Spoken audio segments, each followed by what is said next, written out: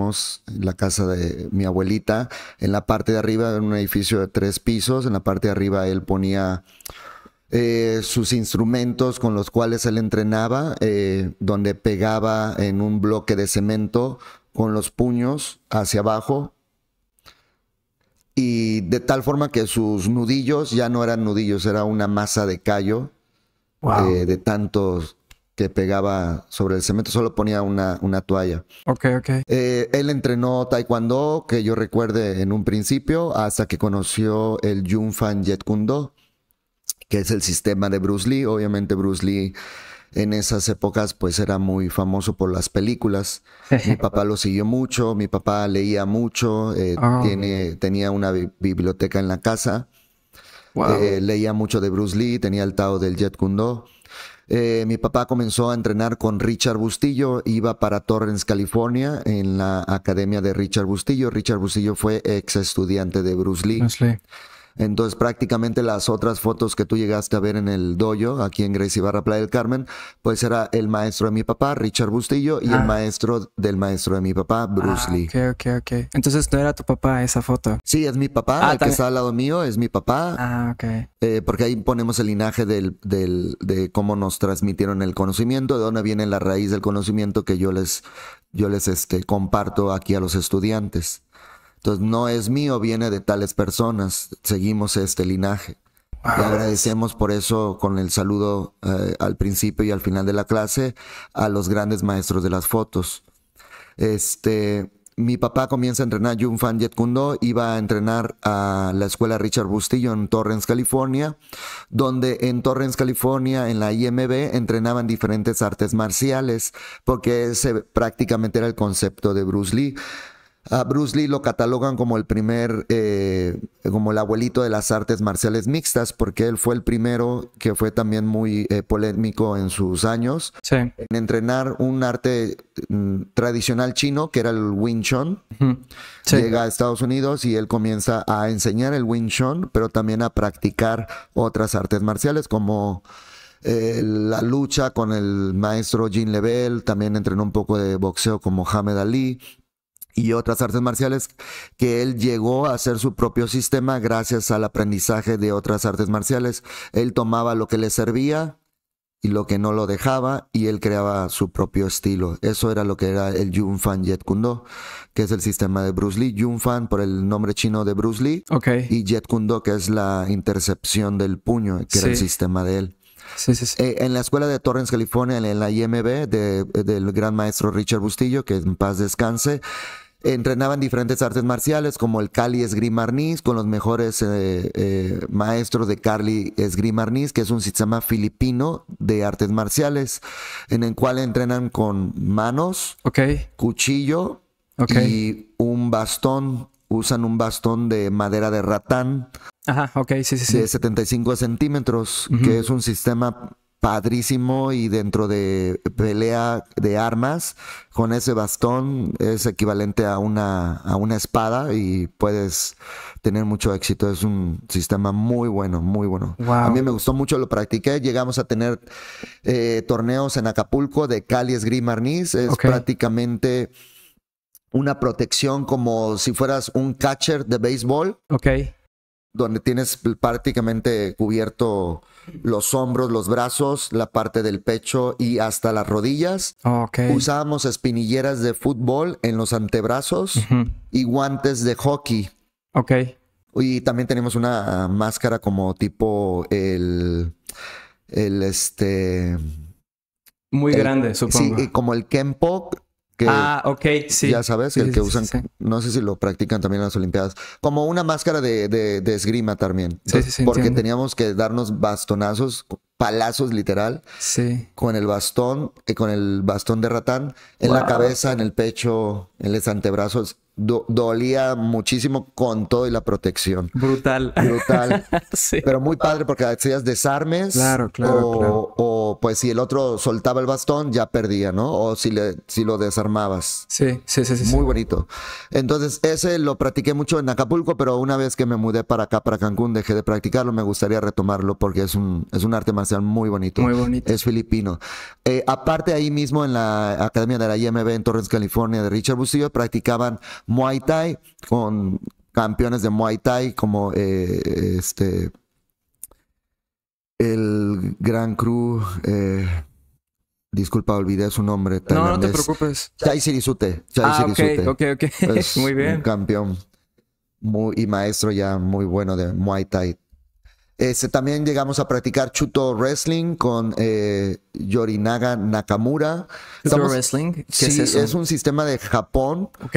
Eh, como el pancracio, una mezcla que era tipo como MMA en ese entonces. Estoy hablando de los 90, ¿eh? Del Sí. 93, 94. Ajá, cuando Quentin Tarantino estaba bombardeando el mundo con películas increíbles. Sí, sí, sí. Este, y, y comenzaba también el UFC Ah, en el 93-94. Eh, mi papá, cuando iba para allá, llegó a traer cassettes de VHS, de, de videos de VHS. Sea, No sé si. creo sí, que sí, tú claro, creo claro, estás claro. un poco. No, no, a mí me tocó VHS. ¿Te tocó? Sí, sí, sí me tocó. Bueno, esos en las peleas del UFC y ahí vimos por primera vez el UFC en esos eh, cassettes, cintas de VHS que poníamos en la videocasetera. Y conocimos, pues obviamente, el jiu-jitsu brasileño con la familia Gracie. Gracie. Eh, yo comencé a entrenar desde niño, pues taekwondo, porque mi papá me llevaba, ¿no? Era parte del, del crecimiento. Eh, era lo, lo más accesible de artes marciales que teníamos en Acapulco, taekwondo, eh, un poquito de kung fu. Después mi papá comenzó a entrenar en, en- en la IMB de- con Richard Bustillo. Ya comencé a entrenar Muay Thai, Cali Esgrima, eh, algo de Kash Kash Kashkan, que es un sistema muy antiguo de lucha, donde hay tipo lucha grecorromana con sumisiones. Mm. Es Mm, de ok. hecho una de las madres de la lucha. Sí. Sí, sí, sí. este, Es, es griego, Griego. si no mal recuerdo, creo que sí.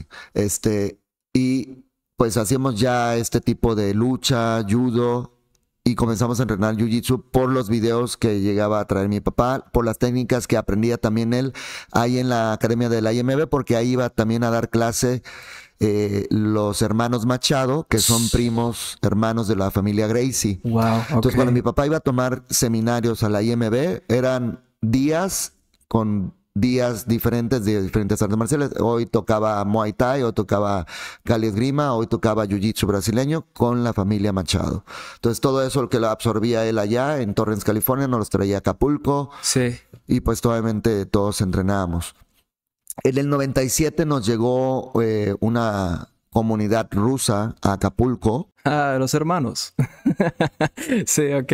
Eh, y nos pasaron a la academia de la IMB a Acapulco, que está en el club de golf en el centro, por el centro de convenciones de Acapulco. Ok, ok.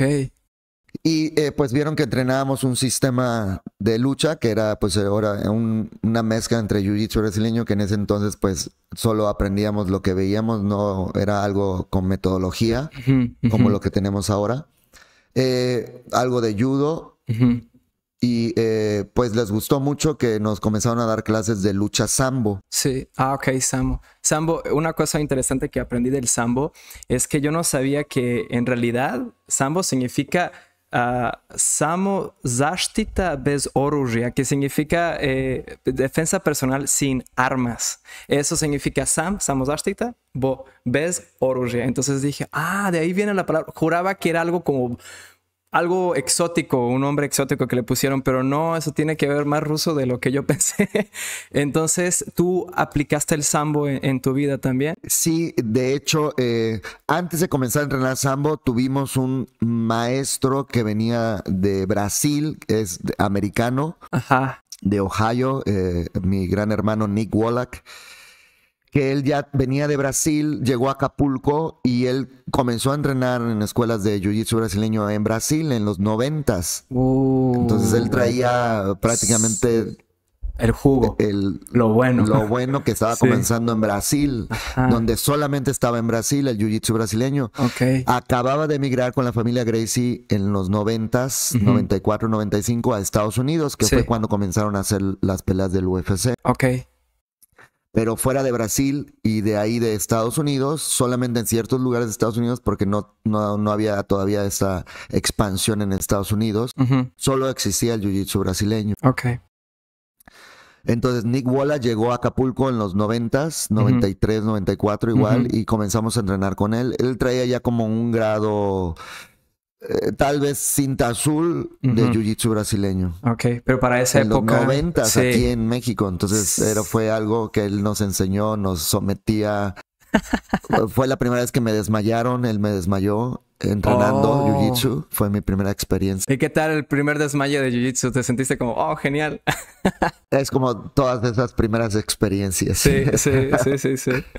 Este, y de ahí llegaron los rusos, nos invitaron a Rusia, mi papá fue a Rusia en el 97, experimentó primero él, porque también lo llevaron a compartir algo de Kali Esgrima. Mi papá se eh, dedicó mucho al Kali Esgrima, al Yun Fan Jet Kundo, al Muay Thai. Y ya nosotros los jóvenes nos dedicamos al jiu-jitsu brasileño y a la lucha de, de, pues ahora sí, de peleas. Empezamos a entrenar un poquito de MMA también.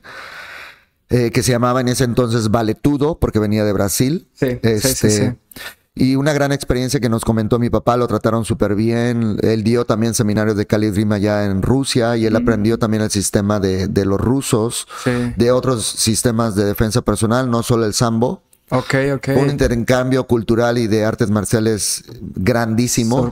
Que al año siguiente, en el 98, nos invitaron a competir en la lucha, en la Copa Mundial de Lucha Sambo. Ok en Kestovo, Rusia, que es un pueblito, pueblito literal, no hay nada más que un gran complejo deportivo de lucha sambo. Este, vamos un equipo como de 12 competidores a, Rusia.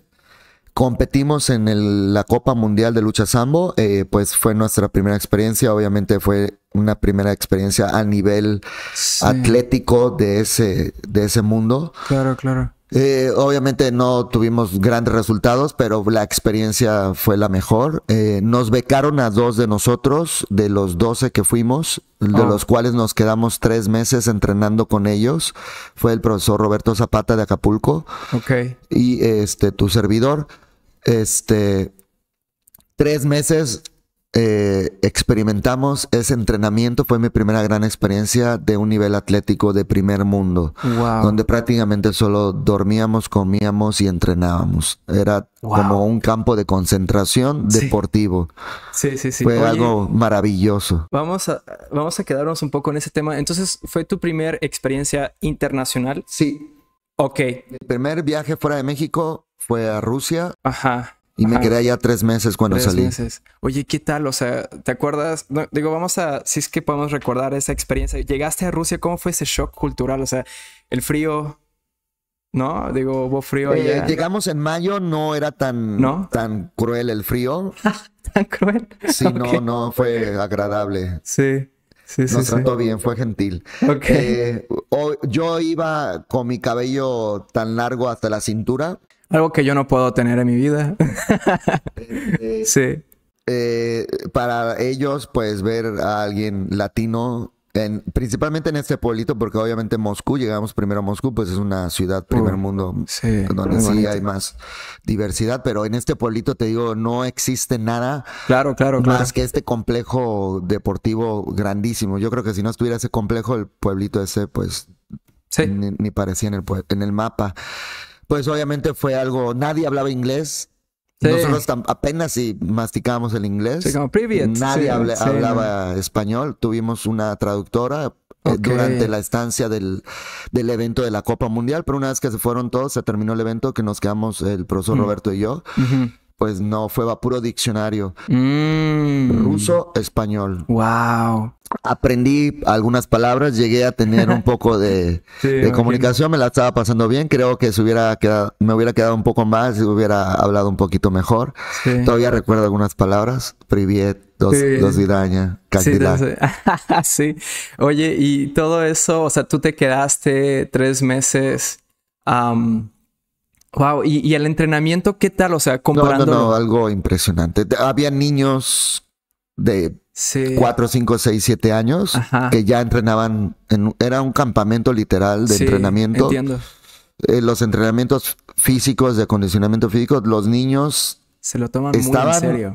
Mejor que nosotros. No manches. Literal, era, tocaba subir una montañita realmente mm, mm. empinada, inclinada. Sí, sí. No, no, no, las piernas sentías que te destrozaban.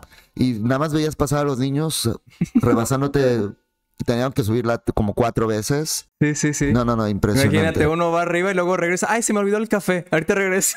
sí. Y no, imagínate, lo hacen desde los 3, 4 años hasta ah, una edad de adolescencia. No, ya es un súper adolescente. ¿Qué es lo que está pasando ahorita en México con el jiu-jitsu brasileño? Ahorita ya estamos en un, uh, en un tiempo que vamos a lograr tener competidores adultos mexicanos cintas negras en podiums. Sí, sí, sí. Y vaya que he conocido gente increíble y con un potencial a futuro que digo, bueno, obviamente no, o sea, con ese potencial digo, güey, creo que estoy conociendo el, el, el, la creación del peak performance de la persona. Y eso sí es como que, wow, no sabía que iba a meterme tan metido. O sea, yo desde hace mucho quería conocer Jiu-Jitsu y no sabía que México era el lugar donde está empezando a crecer eh, popular, o sea, popularmente está creciendo mucho ese arte marcial. Y, entrenadores, o sea, maestros increíbles, con una filosofía sorprendente. Y muchos de los que yo estudié, bueno, de, los que yo he conocido y estudiado, siempre han viajado fuera de México y regresan para poder compartir el conocimiento, así como lo hacía tu papá y... Es correcto, sí, ahorita, eh, bueno, ahorita ya tienen toda la ventaja de que pues todo este conocimiento ya se trajo para acá. Cuando nos tocó a nosotros, nos tocó salir para obtener el conocimiento. Eh, cuando estábamos en Acapulco después de Rusia en el 98, eh, también nos llegó a visitar el, el, profesor Mario Delgado, que también en ese entonces con Nid Wallach eran los más avanzados que teníamos, yo creo que en todo México. Ok. Eh, hubo unos entrenamientos entre ellos que era todo un, gran espectáculo. Sí, sí, sí. sí. Eh, nosotros que teníamos a Nick Wallace con nosotros, que es americano, gringo, este, eh, viviendo en Acapulco, pues era de, ya de la familia. Y llegó Mario, eh, pues de la Ciudad de México. Sí. Este, mi papá lo conoció, fue una amistad muy bonita. Ah. Este, yo ahí conocí al profesor Mario. Llegó Mario, nos ganó, nos sometió a todos. este, y le llegó al final con Nick. Entonces, su último match fue entre ellos dos en el sparring, en el rol de la clase. Y pues todos estábamos echándole porras a Nick. Sí, sí, sí, Contra el mexicano, ¿no? Fue algo un poquito chistoso. Pero pues obviamente pues Nick era de la casa, ¿no? Eh, eh, bueno, era el nivel que teníamos en ese entonces, que mm, el profesor Mario también ya había viajado eh, fuera, a Brasil y a Nueva York. Wow. Y traía el conocimiento también para acá, lo compartía. Eh, en el 99, regresando de Rusia, nos, mm. nos fuimos el profesor Roberto Zapata y yo a Canadá, a Ottawa, Canadá, a abrir una escuela de artes marciales. Estuvimos dando clases como cintas blancas, imagínate, de Muay Thai y de Jiu Jitsu, porque ya nosotros teníamos un algo de años entrenando la experiencia de Rusia, pues ya nuestro nivel no era de cinta blanca, pero pues no teníamos nadie que nos graduara, no había nadie en México. Claro, claro. Aún así nos fuimos a, Canadá en el 99. Yo me quedé todo el año allá, regresé a Acapulco, agarré mi motocicleta y me vine a Cancún. Sí. Eh, en Cancún llegué en el 99 y pues no tenía con quién entrenar. Wow. No había nadie, entonces tuve que comenzar a dar clases. De hecho, organizamos un seminario con el, con el gran maestro Richard Bustillo, mi papá y Richard Bustillo, acá en Cancún. Este, fui conociendo algo de, personas y comencé a dar clases. A mí no me gustaba dar clases, yo nada más quería estar rolando, entrenando y ya sabes el rol pues, del, sí, del rol joven y del sparring. Sí, sí, sí, Este, pero pues obviamente con los años me di cuenta que el dar Eh. clases eh, perfeccionó mucho mi técnica, que fue lo que me ayudó mucho a sobresalir después. Entiendo, claro. En el dos, en- durante 2000, en el 99, antes de venirme para acá, hubo algunos torneos en Acapulco más internos. Ajá. En el 2003, en el 2001, de hecho, antes de hacer torneos de, de Jiu-Jitsu ya como los nacionales en México, en el 2001 hice mi primera pelea de MMA. Creo que fue el primer torneo de MMA en México. Oh, Fue en la Ciudad de México, en el toreo de Cuatro Caminos.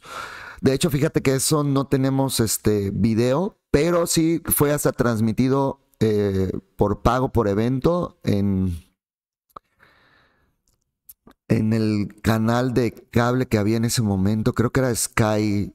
Sky, ok, No sé si ok. recuerdas algo como Sky Sí. O Sky Network, Ajá, algo así. Sí, sí, sí. En esa época era más Sky, lo más conocido, sí. Ajá. Sí, sí, sí. Este, fue en el torneo de Cuatro Caminos, me aventé dos peleas en la misma noche.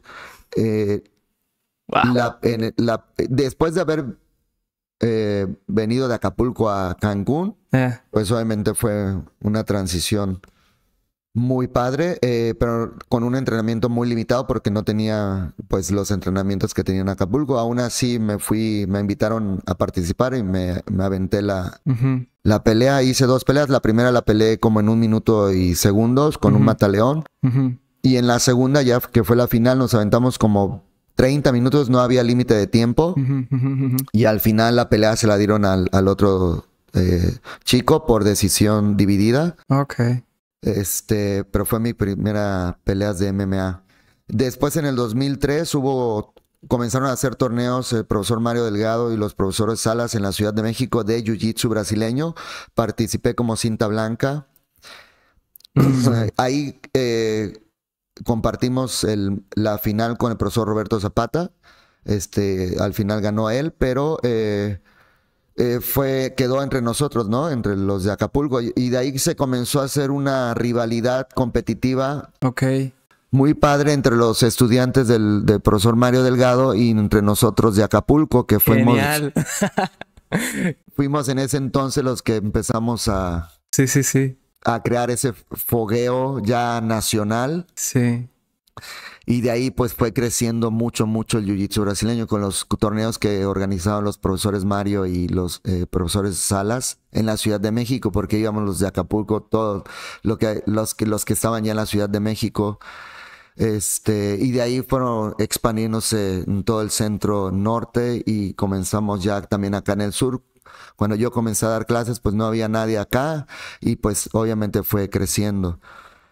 Eh, 2004 conocí al, a mi maestro, el profesor Carlos Lemos Jr., porque en el 2003 el profesor Roberto Zapata viajó a Brasil Ok. y entrenó en la Gracie Barra de la barra de Sí. Tijuca, en la matriz de la Gracie Barra. Ahí conoció a profesor Carlos Lemos, al profesor Lagarto, al profesor Jerry, que eran ya este, cintas avanzadas. Profesor Carlos ya era cinta negra campeón mundial y los eh, profesores Lagarto y Jerry fueron, eran cintas cafés. Ellos, eh, Roberto los invitó a Acapulco. Fue primero Jerry Lagarto a Acapulco y después llegó en 2004 el profesor Carlos Lemos. Yo ya estaba acá en Cancún. Eh, el profesor Roberto me habla y me dice que si quiero organizar un seminario con el profesor Carlos Lemos en Cancún en el 2004. Le dije que claro que sí. Llegó el profesor Carlos Lemos, hicimos el seminario y me graduó de cinta azul. Después de ocho años de cinta blanca. Ocho años en cinta blanca. Sí, porque pues obviamente no, No, no, claro. no había nadie que nos no graduara, pues yo no. O sea, hay que darle a las personas que están escuchando, tienen que entender que esa época en México, o sea, estaba apenas empezando. Así que literalmente Gibran estaba, era uno de los, de los, digamos, pioneros para poder eh, popularizar el jiu-jitsu, ¿no? Entonces tuvo que obviamente llegar un maestro, en este caso a Carlos, para que te pudiera graduar. Porque si no, pues cómo. Entonces, ocho años. Así que si eres cinta blanca y, y apenas llevas seis meses, estás frustrado, eh, Imagínate ocho años. Sí, pero ahora no hay este como que eh, excusa, ¿eh? En Sí. ese entonces era porque yo no tenía quien nos graduara. Ahorita ya tienes quien te gradúe a ti, nada más hay que tener eh, pues la disciplina de asistir. Con que ustedes lleguen al tatami, nosotros nos encargamos de lo demás. Lo más difícil es llegar al tatami porque pues luego tienes tu estrés cotidiano de la vida, del trabajo, de las relaciones, que luego te frustra y dices, ah, ya no quiero ir o... O pues ya mejor no voy, o mejor me quedo aquí en el sillón. La vocecita que empieza a jugar contigo, ¿no? Sí. Entonces, no importa cómo estés, triste, cansado, feliz, súper emocionado, tienes que llegar al tatami. Ya nosotros nos encargamos de lo demás. Yeah, sí. Y es muy bueno para también, o sea, es un muy buena filosofía igual para negocios. O sea, sin importar en la situación que estés, hazlo, termínalo. No importan tus emociones ahorita. Déjalo a un lado, solo actúa y ya. Y ya el resto es historia. Y como dices tú, así es. Nos encargamos. En este caso, pues nosotros somos los profesionales. No sé qué tipo de vida lleves tú. Cualquier cosa que hagas igual, eh, confía en los profesionales. Eh, aprende de los mejores para que pues de tú después tú de ahí, pues la filosofía de Bruce Lee, tomas lo que necesitas, lo que se adapta a ti, lo que no, no, para que tú creas tu propio desarrollo, ¿no? Sí, sí, sí, sí. Entonces, regresando, eh, te graduaron en cinta azul. Cinta azul 2004, el profesor Carlos Lemos Jr. Eh, me invita a Brasil a vivir con él, a entrenar con él, a competir en el mundial. Increíble, ok. De Jiu-Jitsu brasileño. Eh, lo comento con mi papá, súper emocionados. Mi papá me apoya, obviamente me voy. Vivo allá la mejor experiencia de mi vida. No manches. Este, la primera que aprendí en Rusia, pues fue una base muy, muy padre, pero ya una vez en Brasil, pues obviamente me, me, ya me cambió y me transformó totalmente mi percepción hacia dónde quería ir, hacia dónde iba a ir, qué es lo que iba a hacer, qué misión tenía cuáles eran mis nuevos objetivos. Mm. Eh, llego a Brasil, vivo la vida de un atleta de alto rendimiento, vivo la vida de un gran maestro, eh, aprendo todo, regreso a Cancún con otra percepción acerca de todo. En Brasil conocí a todos los Gracie, obviamente en la Gracie Barra, competí en el Mundial ese mundial tan icónico que fue el mundial de 2004 en, Brasil, en la barra de Tijuca, en el Tijuca Tennis Club. Este, donde Roger Gracie le rompe el brazo a Yacaré, que es una de las peleas de la historia de Jiu-Jitsu más icónicas que hay. Este, lo viví en vida propia. Wow. En mi primera competencia mundial de cinta azul, pues obviamente perdí en la primera lucha. Pues obviamente ya el nivel era de otro, de otro nivel, valga la redundancia. Este, eso no me desmotivó, sino todo lo contrario, me motivó a regresar al otro día al tatame.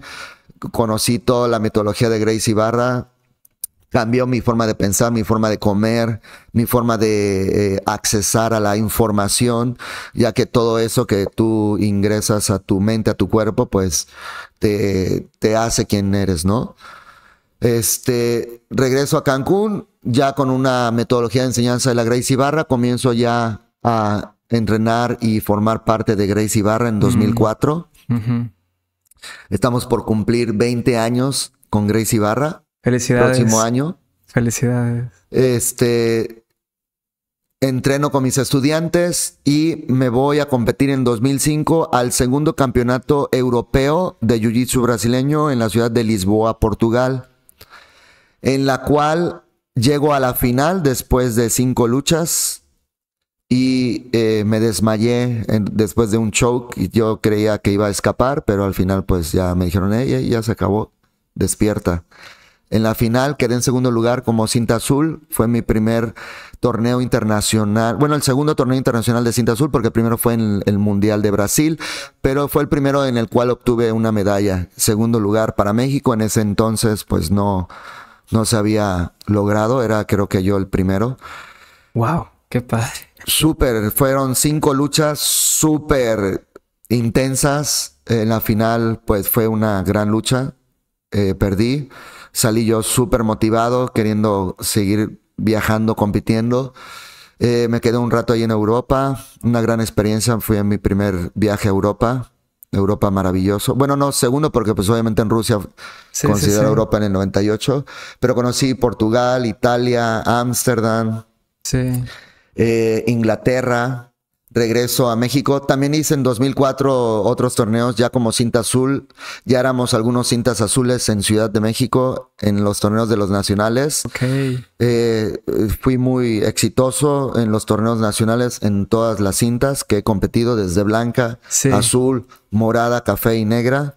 Esos torneos nacionales pues fueron una, una gran motivación, una gran eh, eh, fogueo para mí. Claro, claro. Es por eso que eh, me conocen, como tú dices que has conocido a, a mucha gente que me conoce. Sí. Es por esos grandes torneos en la Ciudad de México que Wow. íbamos a competir desde cintas blancas y pues obviamente con el crecimiento pues fueron Claro. Y ojo, grandes luchas. Disculpa por te- interrumpir. Las personas que yo he llegado a conocer, porque es que yo he ido a varias academias, lo había mencionado. Entonces, cuando mencionaba tu nombre, todos decían, Gibran, claro.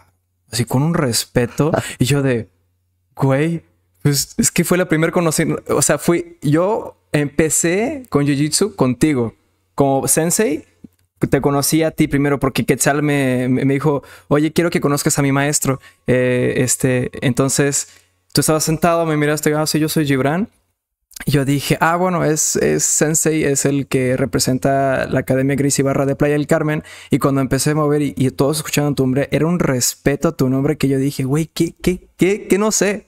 Y ahorita que, que me estás contando esto, es ya, ya, ya, ya entendí, ya entendí. Y qué padre, qué padre, qué increíble. Entonces, eh, ok.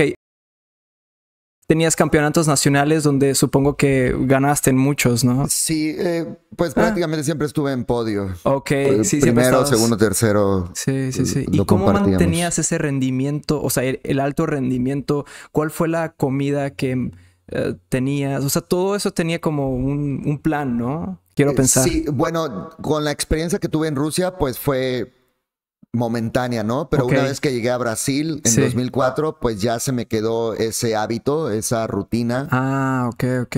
gracias a mi profesor, Sí. que ya no eh, caí en, Mm, mm, eh, tal vez entre Rusia y 2004 que llegué a Brasil, pues también era muy joven. Pues llegué, llego de Acapulco, Canadá, Cancún. Sí. Obviamente, eh, en mi juventud, pues también había también muchas distracciones, pero nunca dejé Sí. de entrenar, ¿no? Claro, claro, claro, claro. el- también el, el hecho de ir a dar clases, Mm, esa, ese- esa responsabilidad, pues me mantenía también entrenando, ¿no? Sí. Entonces tal vez pues eh, eh, también trabajaba en Cancún, no vivía de dar clases, obviamente tenía que tener un trabajo.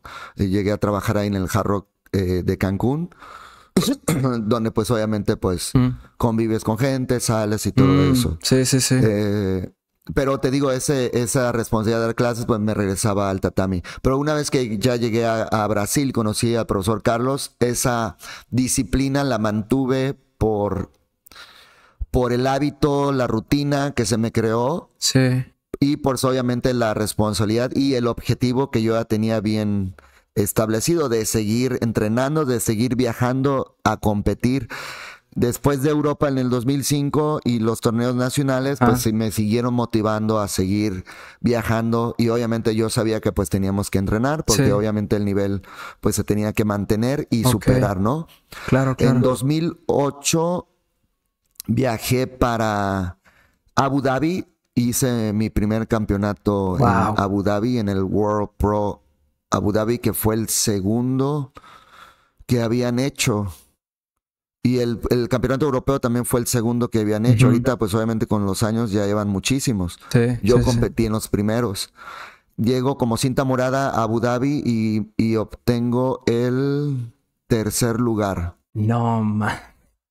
Wow. y, y wow. fue eh, también un- en, en mayo, eh, fue durante mi cumpleaños, cumplo el 8 de mayo. Entonces, pues me la pasé súper bien en Abu Dhabi, de ahí O me sea, fui fue, a en tu celebrar a cumpleaños Dubai. fue. Qué, qué regalo, ¿eh? Sí, Qué regalo. sí, padrísimo. Eh, do- 2009 también regresé a Europa como cinta morada al campeonato europeo. Ahí perdí en la primera lucha, Sí. ya no obtuve medalla. Ok. pero tengo medalla del 2005 del campeonato europeo como segundo lugar. Sí. De Abu Dhabi, del World Pro de Abu Dhabi como tercer lugar Tercer de lugar. cinta morada. Después obtengo mi cinta café y mi visa para Estados Unidos. Mm. Y comienzo a competir en Estados Unidos en los campeonatos. Ya también la, la, la federación se había mudado a Estados Unidos. Los que hacían en Brasil, el último mundial de Brasil fue en el 2005. Ujú. De hecho, regresé también en 2005 a Brasil. Competí en el mundial como cinta azul otra vez, pero perdí otra vez en la primera lucha. Eh, de ahí, 2006, ya se mudaron a Estados Unidos la Federación Internacional de Jiu-Jitsu Brasileño. En el 2010 obtengo mi visa y comienzo a competir como cinta café. Eh, también fue, hice como uno como cinta morada y después como cinta café en Estados Unidos, donde obtengo primer lugar en, en Nueva York, en Chicago, en Miami Wow. Y eh, segundo lugar en el Mundial de Nogi como cinta café en Masters. Wow. Este, y obviamente ya comencé a, a- a viajar un poquito más.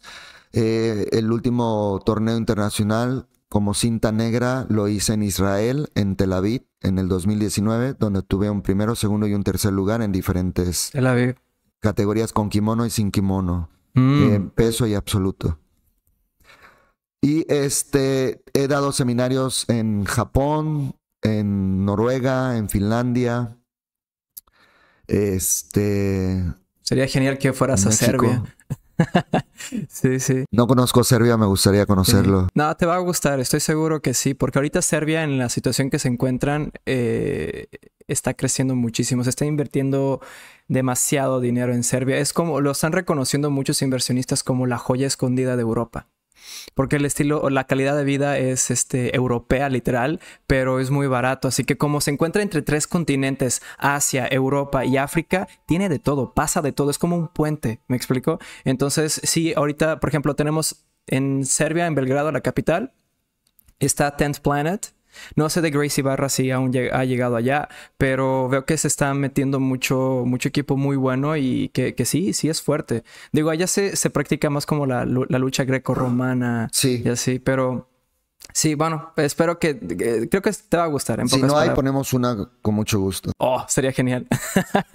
sí, eh, entonces tú llegaste Cinta Café, eh, primer lugar, Nueva York, Miami, ¿dónde Chicago. más? Chicago. Muy bien, wow, wow, es que sí está cabrón. Es que la gente que cuando escucha eso es como que nada, pero es como, güey, no, no, no, no, tú tienes que tener una resistencia, tienes que tener una fuerza, porque son varias luchas que, o sea, para poder llegar a primer lugar y ser constante, está muy, muy, muy difícil.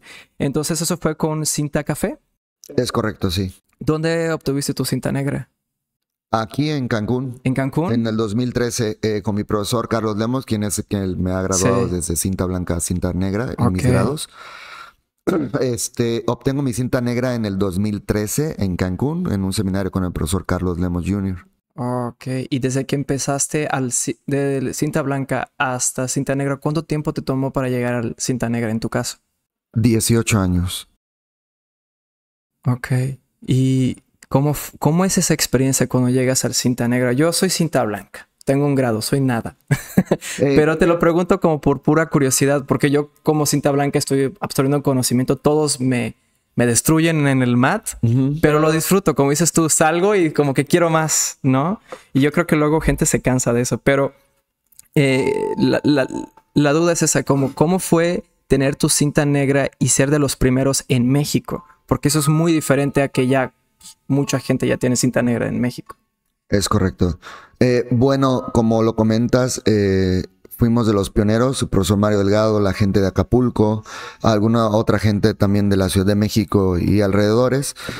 Eh, yo todavía tenía la desventaja de que mi profesor no vivía aquí en México, entonces él seguía en Brasil, después se mudó a Inglaterra y después a Chicago. Entonces, pues yo todavía tenía que salir de donde él estaba o traerlo a él aquí. Entonces tenía todavía esa desventaja mm, eh, que tenía que pasar un poquito más de tiempo en mis graduaciones también. Ahorita ya es un poco más fácil porque ya hay cintas negras como lo comentas aquí. Eh, es un promedio de alrededor de, de 10 años en un entrenamiento ahorita ya con la metodología. Problemas técnicos. Ok, entonces estabas diciendo. Este, ¿en qué nos quedamos? Ajá, nos quedamos que estaba, o sea, tomaste tu cinta negra en México, ok, que fuiste de los pioneros Ah, sí. con Mario Delgado, ajá. Y este, bueno, yo todavía tenía la desventaja de que mi profesor no, no vive No- no aquí. puede- ajá. Eh, entonces ya los que están ahorita con nosotros ya de cintas negras, pues ustedes son más afortunados en que pues Sí. es un periodo máximo, ya si te tardas mucho de 10 años. Claro, claro, claro, claro. La claro. puedes obtener antes, ya ahora, por también los constantes torneos que hay, pues obviamente te, te ayuda a subir tu nivel más rápido. Claro, claro.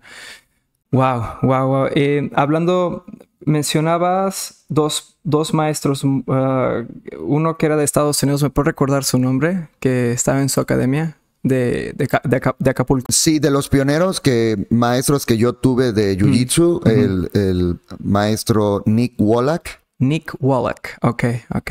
de Ohio, Columbus, Ohio. Él llegó en, el- en los, a principios de los noventas, que venía de Brasil. Ok. Él ya entrenaba judo, era cinta negra de judo. Oh, Él es cinta negra de judo. Este llegó a Acapulco ya con el entrenamiento de, del, del jiu-jitsu brasileño. sí. Después, obviamente, eh, obviamente mi papá. Después de que nos daba muchas clases, que eh, se enfocó mucho en el jiu-jitsu brasileño en la academia de la IMB de Acapulco, Sí. fue el profesor Roberto Zapata. Eh, el profesor Mario Delgado, que fue también de los que llegó a Acapulco a entrenar con nosotros. Eh, mi profesor Carlos Demos Jr., que pues obviamente es mi, mentor. Eh, son los que puedo considerar. Puedo considerar eh, Nick Wallach es uno. Otro sería Roberto Zapata. Co- Claro. la- la- la- ¿Cómo llegaste con Roberto Zapata? ¿Fue por tu...? No, sí, pues él es de Acapulco. Él Ajá. fue mi compañero de entrenamiento en la escuela de mi papá. Él era Mm. estudiante de mi papá. Mm, ya, ya, ya. Eh, él es un poco más eh, grande que yo en de edad.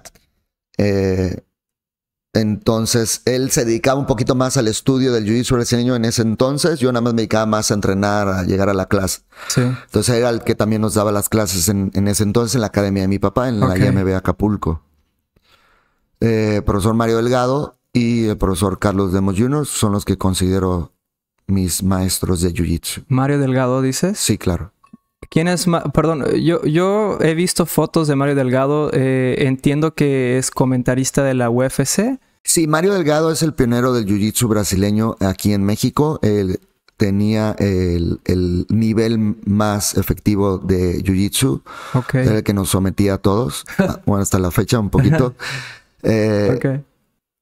Él este, fue el que hizo los torneos con los eh, profesores Salas de Jiu-Jitsu brasilero- brasileño, los nacionales, fueron los que formaron la Federación Nacional de Jiu-Jitsu brasileño. Él es el que tiene la liga de MMA ahorita más grande en México, es comentarista de las peleas del UFC por Fox Sports. Tiene las academias más grandes en la Ciudad de México y alrededor.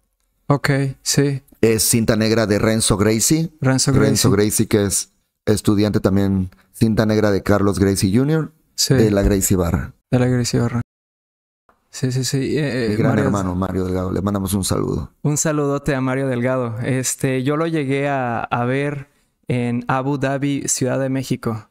Ah, bueno, eh, perdón, ah, no Abu Dhabi, eh, ADCC. Ajá. Este, eh, me confundí. En la ADCC de la Ciudad de México.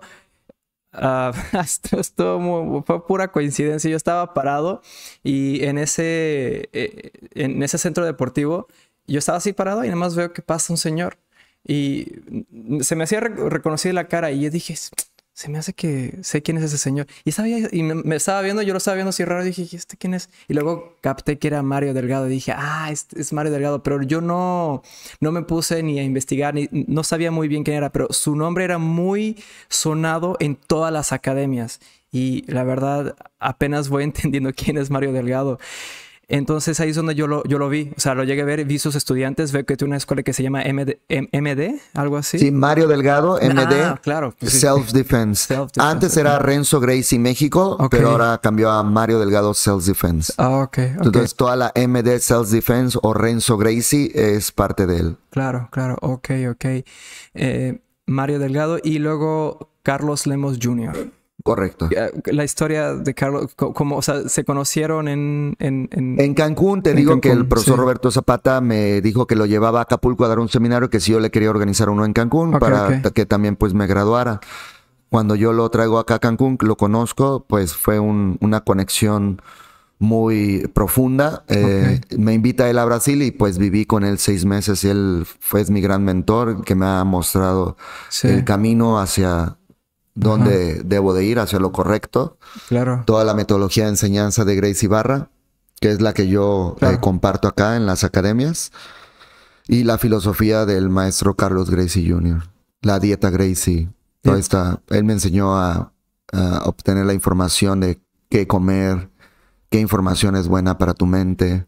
Oh, wow. Ok, la filo o sea, filosofía. Claro. Ok, y Yo antes de conocerlo a él tomaba Coca-Cola, com- comía McDonald's, papitas, papitas, dulces, todo, sabritas. todo lo bueno. sí, entonces llegaste Tengo 20 años sin hacer eso. Sí, increíble. literal. Todo el detox. Pero luego llegas a comer como un pastelito o algo así en el camino. O... Si es vegano, que no tiene el azúcar procesada como tipo los de Bimbo y toda esa porquería, sí, claro.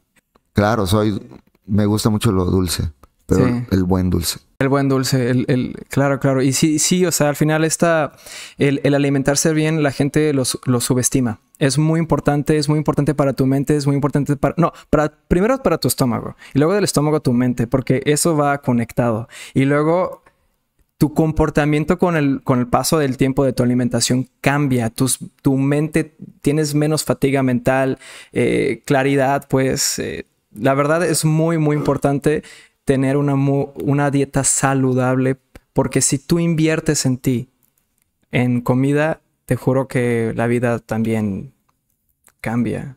Así es, eh, el problema es en la digestión, Sí. eh, la energía que tu cuerpo le invierte a la digestión, eso se debe a la combinación de los alimentos que estás ingiriendo. Sí.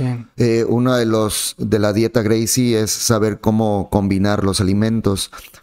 El gran maestro Carlos Gracie, abuelito, Sí. él eh, tuvo la experiencia de perder a su esposa. Eh, eso le hizo cambiar su, su forma de pensar y se dedicó mucho al estudio de la alimentación porque él pensó que si hubiera sabido la- la- los beneficios de la alimentación, su esposa no se hubiera ido. Entonces se dedicó mucho a eso y descubrió pues el proceso de la combinación de los alimentos. Una de las peores combinaciones que hay, la peor combinación que hay es lo que más se consume. ¿Cuál crees que sea?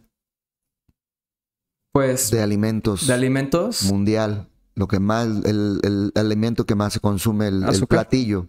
El Ah, platillo. Hamburguesas. Con Papas. papas. Y refresco. Si quieres darle. Eso es una bomba para tu estómago. Eh, tu cuerpo va a invertir horas y horas de energía para tratar de digerirlo. Entonces, todo ese tiempo, pues los Gracies descubrieron que pues es mejor invertirlo en entrenar. Mm. Entonces, esa combinación de alimentos hace que tu cuerpo te quite la energía. Entonces, toda esa energía que te quita tu cuerpo por estar di- digiriendo, Sí, sí. la puedes invertir en otras cosas. Entonces, cuando tú no comes eso, Sí, pues obviamente en tu cuerpo no está invirtiendo mucha energía en digerir, entonces tienes esa energía para hacer otras cosas. Claro, claro. Todo es claro. acerca de la digestión. Sí, es, por eso es muy importante saber y, y- y qué qué comer, porque como dices tú, o sea, la digestión consume tanta energía para poder procesar que luego cuando llegas a entrenar te estás, estás muerto, es como no puedo, estoy cansado, desperté cansado, ¿no? Cosas como esas, sí, sí, sí. El azúcar pues hace Uh. que tu cuerpo eh, haga Sí. más insulina para compensar el azúcar. Cuando tu cuerpo empieza a, crear más insulina, pues sus otros órganos no trabajan bien porque le está robando energía Claro, para crear esa insulina y balancear el azúcar. Es to- un total desbalance energético. sí, Y por eso pues sufren los problemas de cáncer, de Claro. diabetes. sí, Te- el azúcar te, te calcifica la glándula pineal. donde tu glándula pineal, pues es tu tercer ojo que hace que Exacto. Sí, sí, sí. Claro, hagas claro. cosas sobrenaturales, Ey, mágicas, Mágicas. superpoderes. Exacto. Y luego uno va a decir, no, es que son teorías conspirativas. No, dude, ponte No. a estudiar. Ponte a estudiar, ponte la... lee libros. lee libros de gente que de verdad se puso a estudiar eso.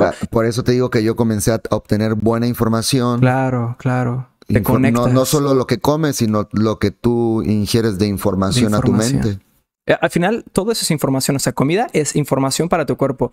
Leer, yo tengo varios libros allá, como puedes notar. Este, leer también es información para tu mente. Entonces, como dice este dicho, creo que es griego, ah, in, in mente sana, corpore sano, algo así. O sea, mente sana, cuerpo, Cuerpo sano. En cuerpo sano, sí. Es correcto.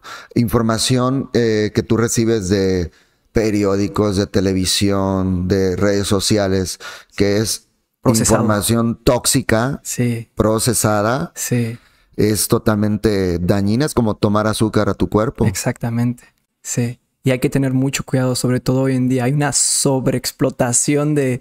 Es muy difícil tener, mantener... Primero tienes que educar a la gente. Eso es primero. Y luego tienes que aplicarlo. Y cuando lo aplicas aquí, es luego, wow, necesito conseguir gente que me consiga la carne. Necesito conseguir gente que me consiga las verduras, pero que no hayan pasado por nada de insecticidas ni de esas cosas. Es Sí, correcto. sí. Toda esa buena información, todo ese buen saber de comer, eh, la actividad física, la conozco gracias desde el 2004 Mm, a mi profesor mentor Carlos Lemos Jr. y la, obviamente, la familia Gracie. Gracie. La familia Gracie es una inspiración, una motivación. Cuando los vimos pelear en el UFC por Ajá. primera vez, Joyce Gracie ganándole a gente más grande, sin límite de tiempo, aplicando las técnicas, fue una cosa, una, un, algo que te inspira y te crea una percepción diferente de cómo ves las cosas. Claro, claro, claro, porque cuando llegó el Jiu-Jitsu al mundo de las artes marciales, que digamos cambió el mundo, es más, la Cambió familia Gracie cambió el mundo de las... Ellos fueron, Ellos fueron. ellos fueron, ellos fueron, y tú estabas con ellos. Sí. Ok, sí, eh, el Jiu-Jitsu cambió las artes marciales porque una vez cuando tiraba a su oponente en el piso, hacía cosas que, ah, este, que decía, aunque sea más fuerte, aunque sea Más grande, más, grande, pesado. sin importar su físico o la fuerza que tenía, con la técnica, ¡pum! adiós. Y yo creo, quiero pensar que cuando vieron esos cassettes de la de VHS, me imagino que fue como que un alivio, como no mames, es como magia, ¿no? Entonces yo creo que la verdad de- desde que mm, se aplicó el jiu-jitsu en el mundo ha, ha cambiado, bueno, obviamente cambió, el- cambió el mundo.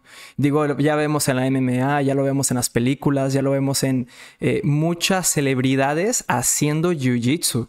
Me, so- me sorprendí, Tom, Tom ah, del actor de Venom, Tom Brady, algo así, creo que era su, su- nombre. Luego tienes este Aston Kutcher, que eh, Aston Kutcher creo que ahorita es como cinta de café. Luego está Mark Zuckerberg de Facebook que se metió a Jiu-Jitsu. Y luego está Elon Musk que se, este, está, se está metiendo a Jiu-Jitsu. O sea, gente muy reconocida e inteligente que se están metiendo a Jiu-Jitsu. Generalmente son personas muy interesantes que, que están metidas en el mundo de Jiu-Jitsu.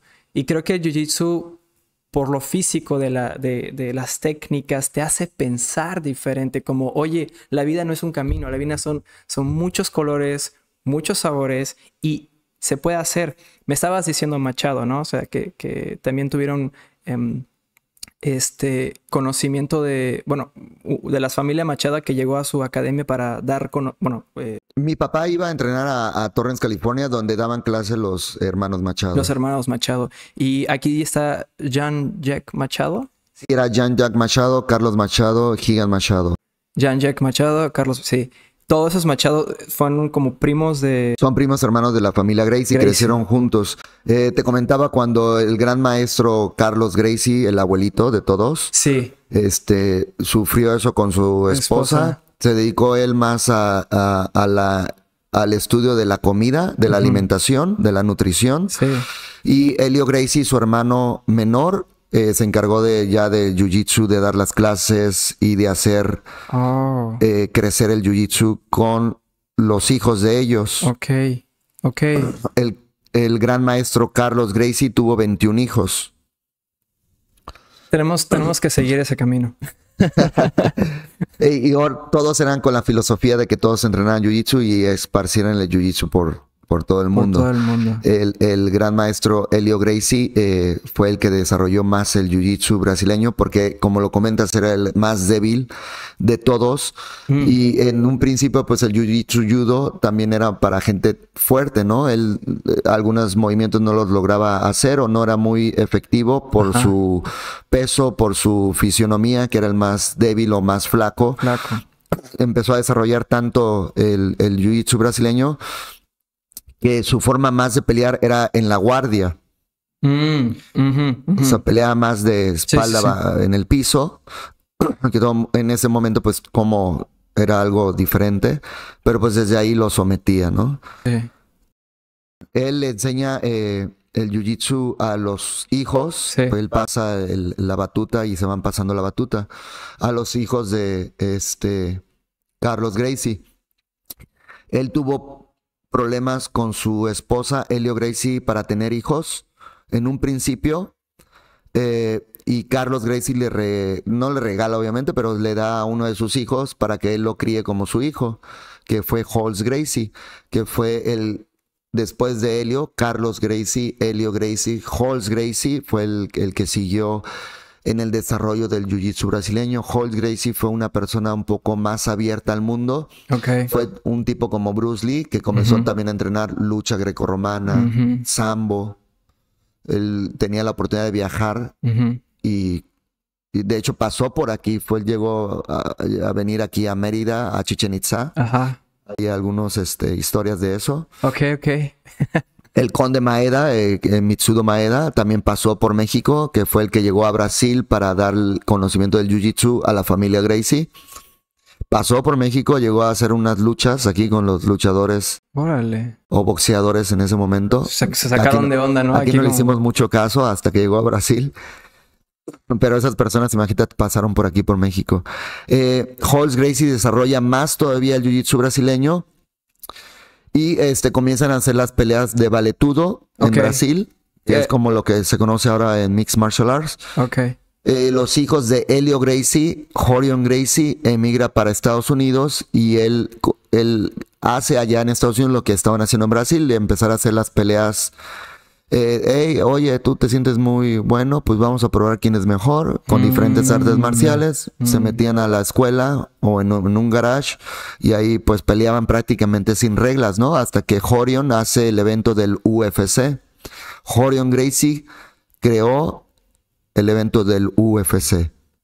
Meten a uno de sus hermanos, Joyce Gracie, que era no de los mejores de los Gracie, para demostrar que, pues, aún así no el mejor de los Gracie, le ganó a todos los diferentes artes marciales, diferentes pesos, sin límite de tiempo o de peso, Sí. con muy poquitas reglas con Jiu-Jitsu brasileño.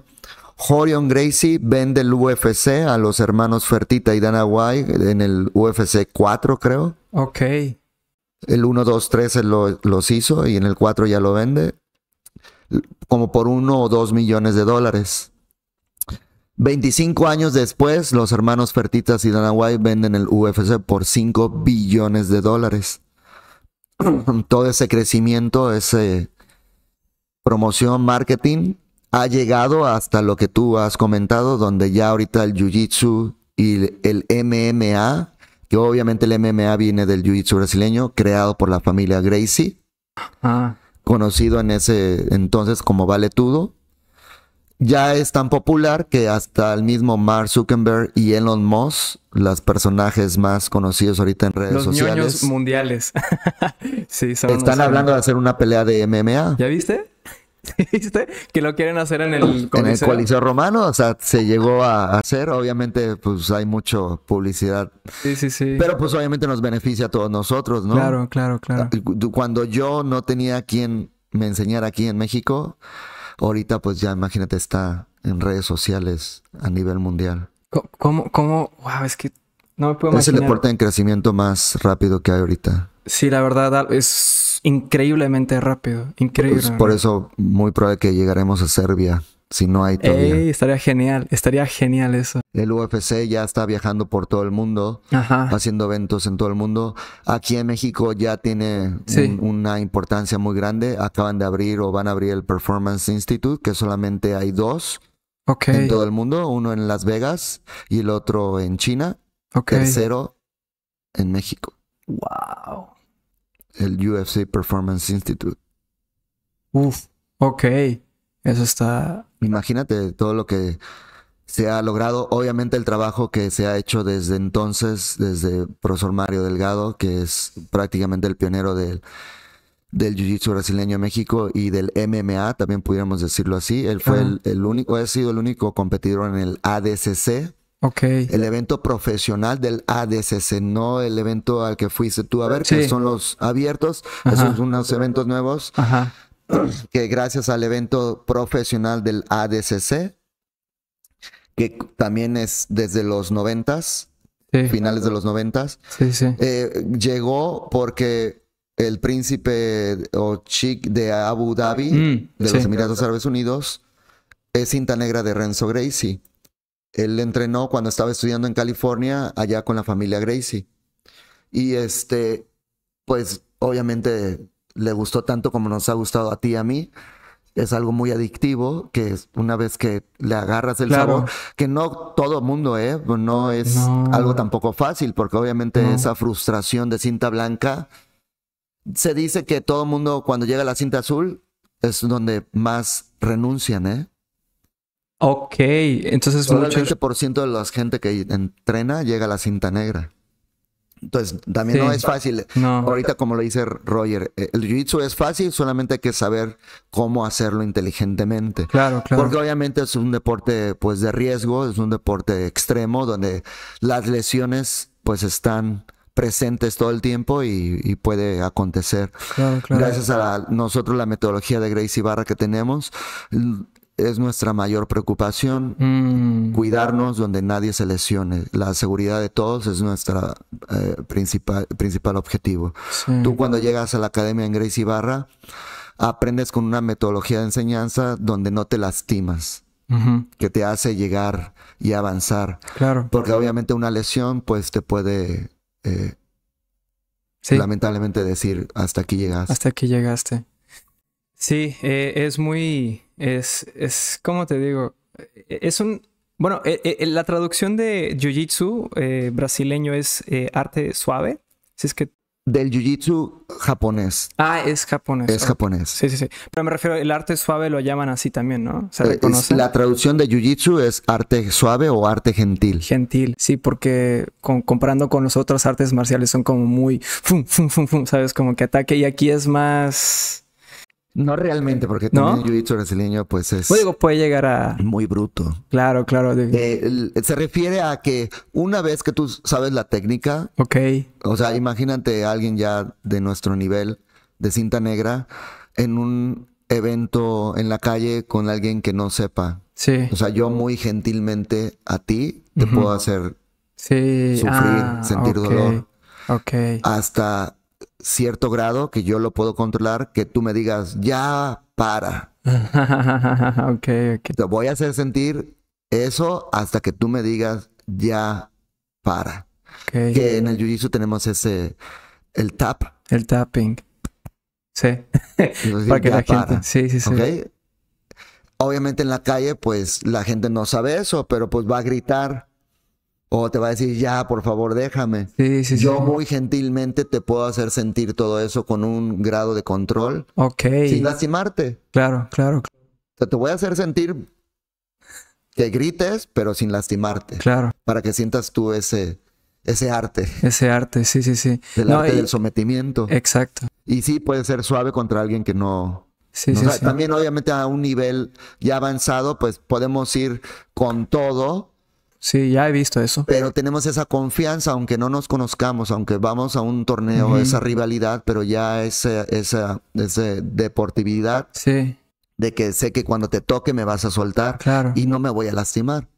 Sí, sí. También yo controlo ese grado de dolor que yo voy a sentir. Sí. Porque muchas veces digo, ay, me voy a aguantar, ay, puedo, puedo, puedo, puedo. Y, y ya se tronó, ¿no? O sea, yo pude haber evitado eso tapeando, pero el otro, si no siente que ya me, Ujú. que ya tapie, pues no me va a soltar. Claro. ¿Te ha tocado que... Claro. Sí.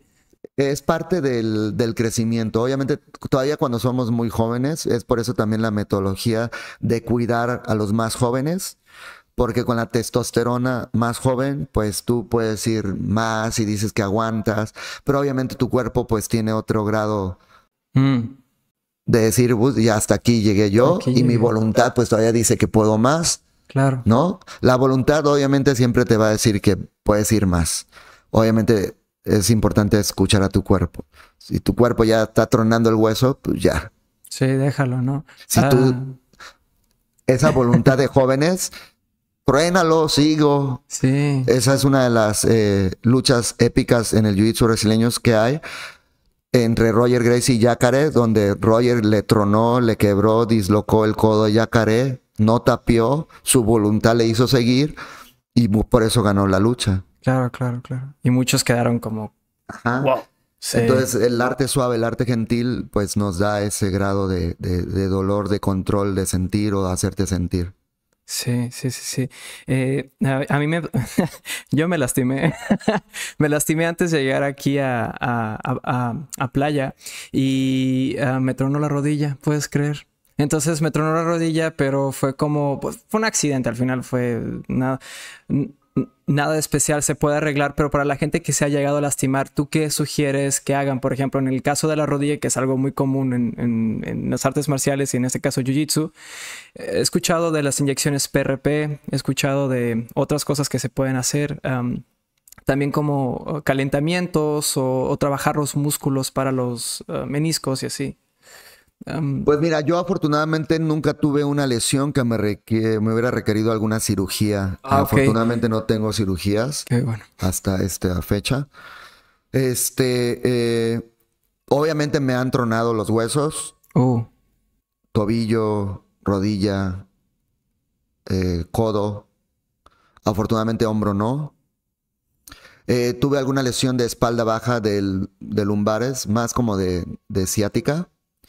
Eh, nuestro mejor amigo en el momento siempre es el hielo. ok. En el momento, siempre en, los doyos hay que tener un poco de hielo. Es importante. Eh, una vez después de eso, si obviamente te rompiste algo, mira, yo me he roto el dedo. No es este una ¡Hala! grosería. No, no te preocupes, no me lo tomo personal. Como lo puedes ver, está totalmente chueco. Eh, Sí. me lo fracturé, pero era yo joven. Bueno, todavía sigo siendo joven, pero eh, sentía dolor, pero no, nunca, yo nunca he sido de ir al doctor así como que, "Ay, voy al doctor y este, aguanté el, el dolor y solito mi cuerpo se regeneró, se recuperó, obviamente con un poquito de no estética. Este, pero pues está bien. Sí, Eh, me he llegado a tronar el tobillo, tal vez alguna fisura, no algo muy grave, ra- grave. Ujú. Eh, yo evito todo lo que sea procesado, todo lo que sea medicina procesada de pastillas y todo eso lo evito. El mejor amigo para las inflamaciones es el hielo. Eh, no he tenido que ir a alguna cirugía, entonces no puedo decirte si el doctor te dice que pues hay que operarte, pues opérate. La verdad, yo, gracias a la información, a la apertura de mi mente y conciencia que he tenido durante mis años de entrenamiento, eh, con los doctores no sigo una, Entiendo. Sí. una disciplina mucho porque eh, también son vendedores al final, ¿no? Claro Y- que sí, Y, sí. y toda esa industria médica de farmacéutica pues está muy corrompida. Sí. Hay mucho mal, Sí. más que bien. Sí, ellos lo saben también. Sí. Ellos lo saben, Sí. son también hipócritas. Este, son vendedores al final. Sí. Eh, yo soy vendedor. Eh, no he dedicado mi, el 100% de mi carrera de Jiu-Jitsu a dedicarme al Jiu-Jitsu. Sí. Es algo que voy a hacer próximamente. El 50% de mi tiempo, eh, desde come- que comencé a entrenar Jiu-Jitsu a un nivel competitivo de atleta eh, de rendimiento, de alto rendimiento a nivel internacional, fue obviamente después de Brasil. En el 2005 comencé a trabajar en, en Vidanta, como Mm, en ventas. Aquí en esta área de Cancún, Riviera Maya, es algo muy de los mejores trabajos que hay, que es algo con lo que he logrado vivir Mm, y es gracias a eso que he logrado también este, tener las escuelas, viajar, eh, hacer mi familia. Eh, soy vendedor, entonces sé cómo funcionan las ventas y sé que pues la la industria médica Sí. es puras ventas y, sí, sí, sí. y su forma de vender es eh, el miedo a perder, ¿no? Mm. Y lo descubrimos ahorita con lo de la pandemia. Cabrón. No voy a entrar en, Detalles, sí. en temas muy polémicos que después podemos entrar en otro tipo de podcast. Este, pero sí, eh, les recomiendo, obviamente, sí, vayan al médico, escuchen, pero Claro. también tengan eh, otro tipo de alternativas. Claro. Eh, traten de evitar la cirugía, al menos de que pues sea algo. También ya la medicina ha avanzado mucho, ya hay medicina natural muy avanzada. Eh, creo que comentabas algo de células madres, que es algo natural. Las cámaras hiperbáricas también es algo Mm. natural, son tratamientos nuevos que hay. Hay eh, tecnología nueva, como electrodos, ultrasonido, toda la fisioterapia también ha avanzado mucho. Eh, yo les digo, eh, tengan alternativas más naturales que procesadas o químicas. Sí. Eh, escuchen a su cuerpo, entrenen sanos, entrenen inteligentemente. Inteligentemente. No se esperen hasta que el cuerpo ya tronó o hasta que ya te desmayaste. Sí.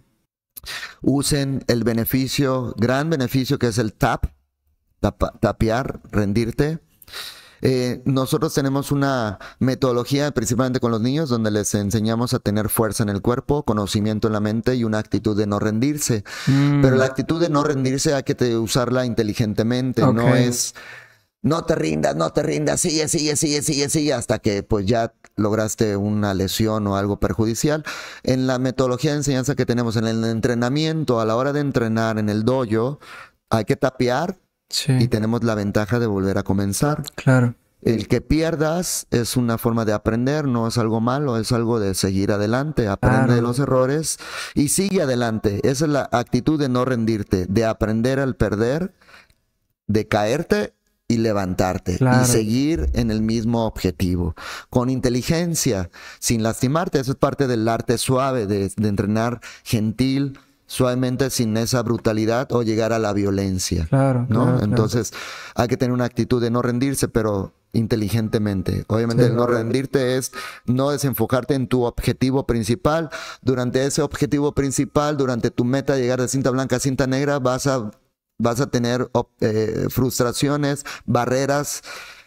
Tienes que aprender de ellas y seguir adelante. Esa es la actitud de no rendirte, de lograr el objetivo final. Claro, claro. Y, disfrutar el proceso, ¿no? Disfrutar el proceso es muy Disfruta- importante, sí. Sí, sí, sí. Eh, eh, por ejemplo, en, en Jiu-Jitsu, bueno, en las artes marciales, por ejemplo, en el Jiu-Jitsu, que es algo longevo, eh, algo que te enseñan es lidiar con el estrés. Entonces, tú, si a una persona te, se acercaría contigo y te pregunta, a ver, Gibran, ¿por qué, ¿por qué me sugieres Jiu-Jitsu? ¿Tú qué, qué- qué responderías a la gente? Bueno, tiene muchos beneficios. Obviamente el principal beneficio y lo, y lo que lo hace la base es la actividad física como principal beneficio. Y ya tomando en cuenta ese principal beneficio, la actividad física es la base de la salud. Ok. Si tú no tienes actividad física, vas a ser una persona probablemente enferma. Ah, Entonces, sí, salte a caminar, salte a correr. No necesitas ir al jiu-jitsu. Con que hagas actividad física es salud. Obviamente, si vas al jiu-jitsu, la principal eh, beneficio es la actividad física porque es algo activo físicamente. Otro de los beneficios, como te lo comentaba, es meterle conocimiento a tu mente. La técnica es conocimiento. Sí.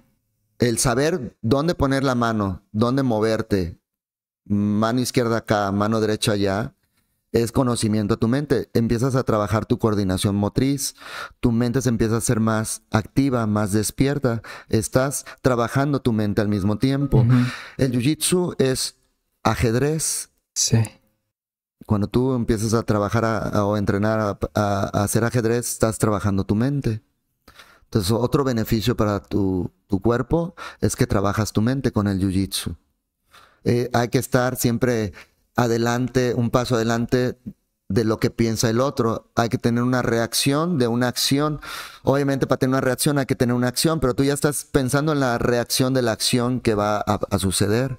Ese es otro beneficio. Tu mente empieza a- a trabajar, a abrirla, a hacerla más consciente. El proceso que te comentaba de la actitud de no rendirte te crea mucha disciplina. A pesar de la frustración que puedas llegar a sentir, vas a empezar a crear esa disciplina, ese hábito de seguir, aunque no te gusten las cosas. Muchas cosas buenas no nos gustan, pero pues hay que hacerlas. Muchas cosas malas sí nos gustan y las hacemos, pero pues son malas. Claro. Te dan Claro. un, ese, ese rush de placer momentáneo. Placer inmediato. Pero después ya lo que te dejó es más malo de lo bonito que te dio en el momento. Entonces, esa disciplina de las cosas buenas que no te gustan, como que alguien te está sofocando, como que alguien te está estrangulando, pues es otro de los beneficios. Ese lidiar con el estrés que comentas, pues es obviamente eh, otro de los grandes beneficios. Te enseña a estar cómodo en posiciones incómodas. Cómodo en posiciones incómodas, ¿a qué me refiero? Eh, en el jiu-jitsu pasas por posiciones muy incómodas. Cuando el profesor está encima de ti, en los 100 kilos, por algo se llama la posición de los 100 kilos, porque aunque el otro pese 30 kilos, cuando te lo pone encima y lo sabes usar, sientas que tú tienes 100 kilos encima. Sí. Imagínate que te pongan 100 kilos encima y te los quieres quitar tú, ya te crea un estrés. En Jiu-Jitsu te enseñamos que aunque el otro esté encima de ti, puedes llegar a sentir comodidad para que pienses correctamente en los pasos para escapar de esa posición incómoda y mejorar tu posición. Mm, Entonces en Jiu-Jitsu, cuando estás en una posición incómoda, te enseñamos a buscar comodidad para pe- pensar en mejorar tu posición. Es algo que si lo aplicamos en la vida cotidiana, pues te da muchos beneficios. En el Jiu-Jitsu hay integridad, no podemos mentir. Un cinta blanca no sabe nada, un cinta azul ya pasó por la cinta blanca. Entonces el cinta azul sí le puede ganar al cinta blanca. Y así consecutivamente, obviamente, esa integridad porque estás yendo a entrenar, estás tomando tu disciplina, lo vas a demostrar. Esa recompensa de tu sufrimiento que has pasado se va a recompensar. Como cuando empiezas tú a someter a los demás. A ti en un principio te van a estar sometiendo, sometiendo, sometiendo. Es una incomodidad, es un estrés, una frustración horrible. Logras superar eso. Cuando tú logras someter la primera vez a alguien, es una gran satisfacción. Sí. Es una gran recompensa. Entonces, otro de los beneficios del jiu-jitsu, estar cómodo en posiciones incómodas para que pienses sanamente y no con la emoción. Si tú actúas en la vida cotidiana, por ejemplo, en una relación con tu pareja, con tus papás, en- estás en una posición que ellos te hacen incómodo y tú te enojas y contestas enojado, vas a decir cosas que no quieres decir Tontas. tal vez a veces este, ofensivas. El 90% de las palabras que decimos son para, son inútiles, son más para, sin un Sí. gran valor o beneficio, son más para insultar o ofender. Sí. Destru- destruye. Sí. Las palabras es una herramienta muy fuerte, la Muy palabra fuerte. es algo más poderoso que la misma técnica de Jiu-Jitsu. Mm, Lastima más porque lastima emocionalmente. claro. Entonces, si tú tienes una eh, pelea con tu re- pareja, con tu relación, con tu familia, y dices algo enojado, pues obviamente va a ser peor para ti. Pero si tú logras tener ese control, esa meditación, esa paciencia que en el Jiu-Jitsu te enseña a tenerla, pues vas a contestar bien, Sí. no vas a cagarla como se sí. dice. Sí, sí, sí, sí. Y pues tal vez tu relación con tu pareja, con tus papás, pues va a mejorar en vez de hacerla peor. Es otro beneficio que te da el jiu-jitsu, saber estar cómodo en posiciones incómodas para saber actuar y pensar con raciocinio, con la técnica y no con la emoción. Te ayuda a controlar tus emociones. Los impulsos. Los ¿no? impulsos. Claro. Principalmente los de emociones como ira, eh, tristeza, frustración, Sí, sí, que sí. son impulsos que hay que controlar. Claro. Vibras bajas.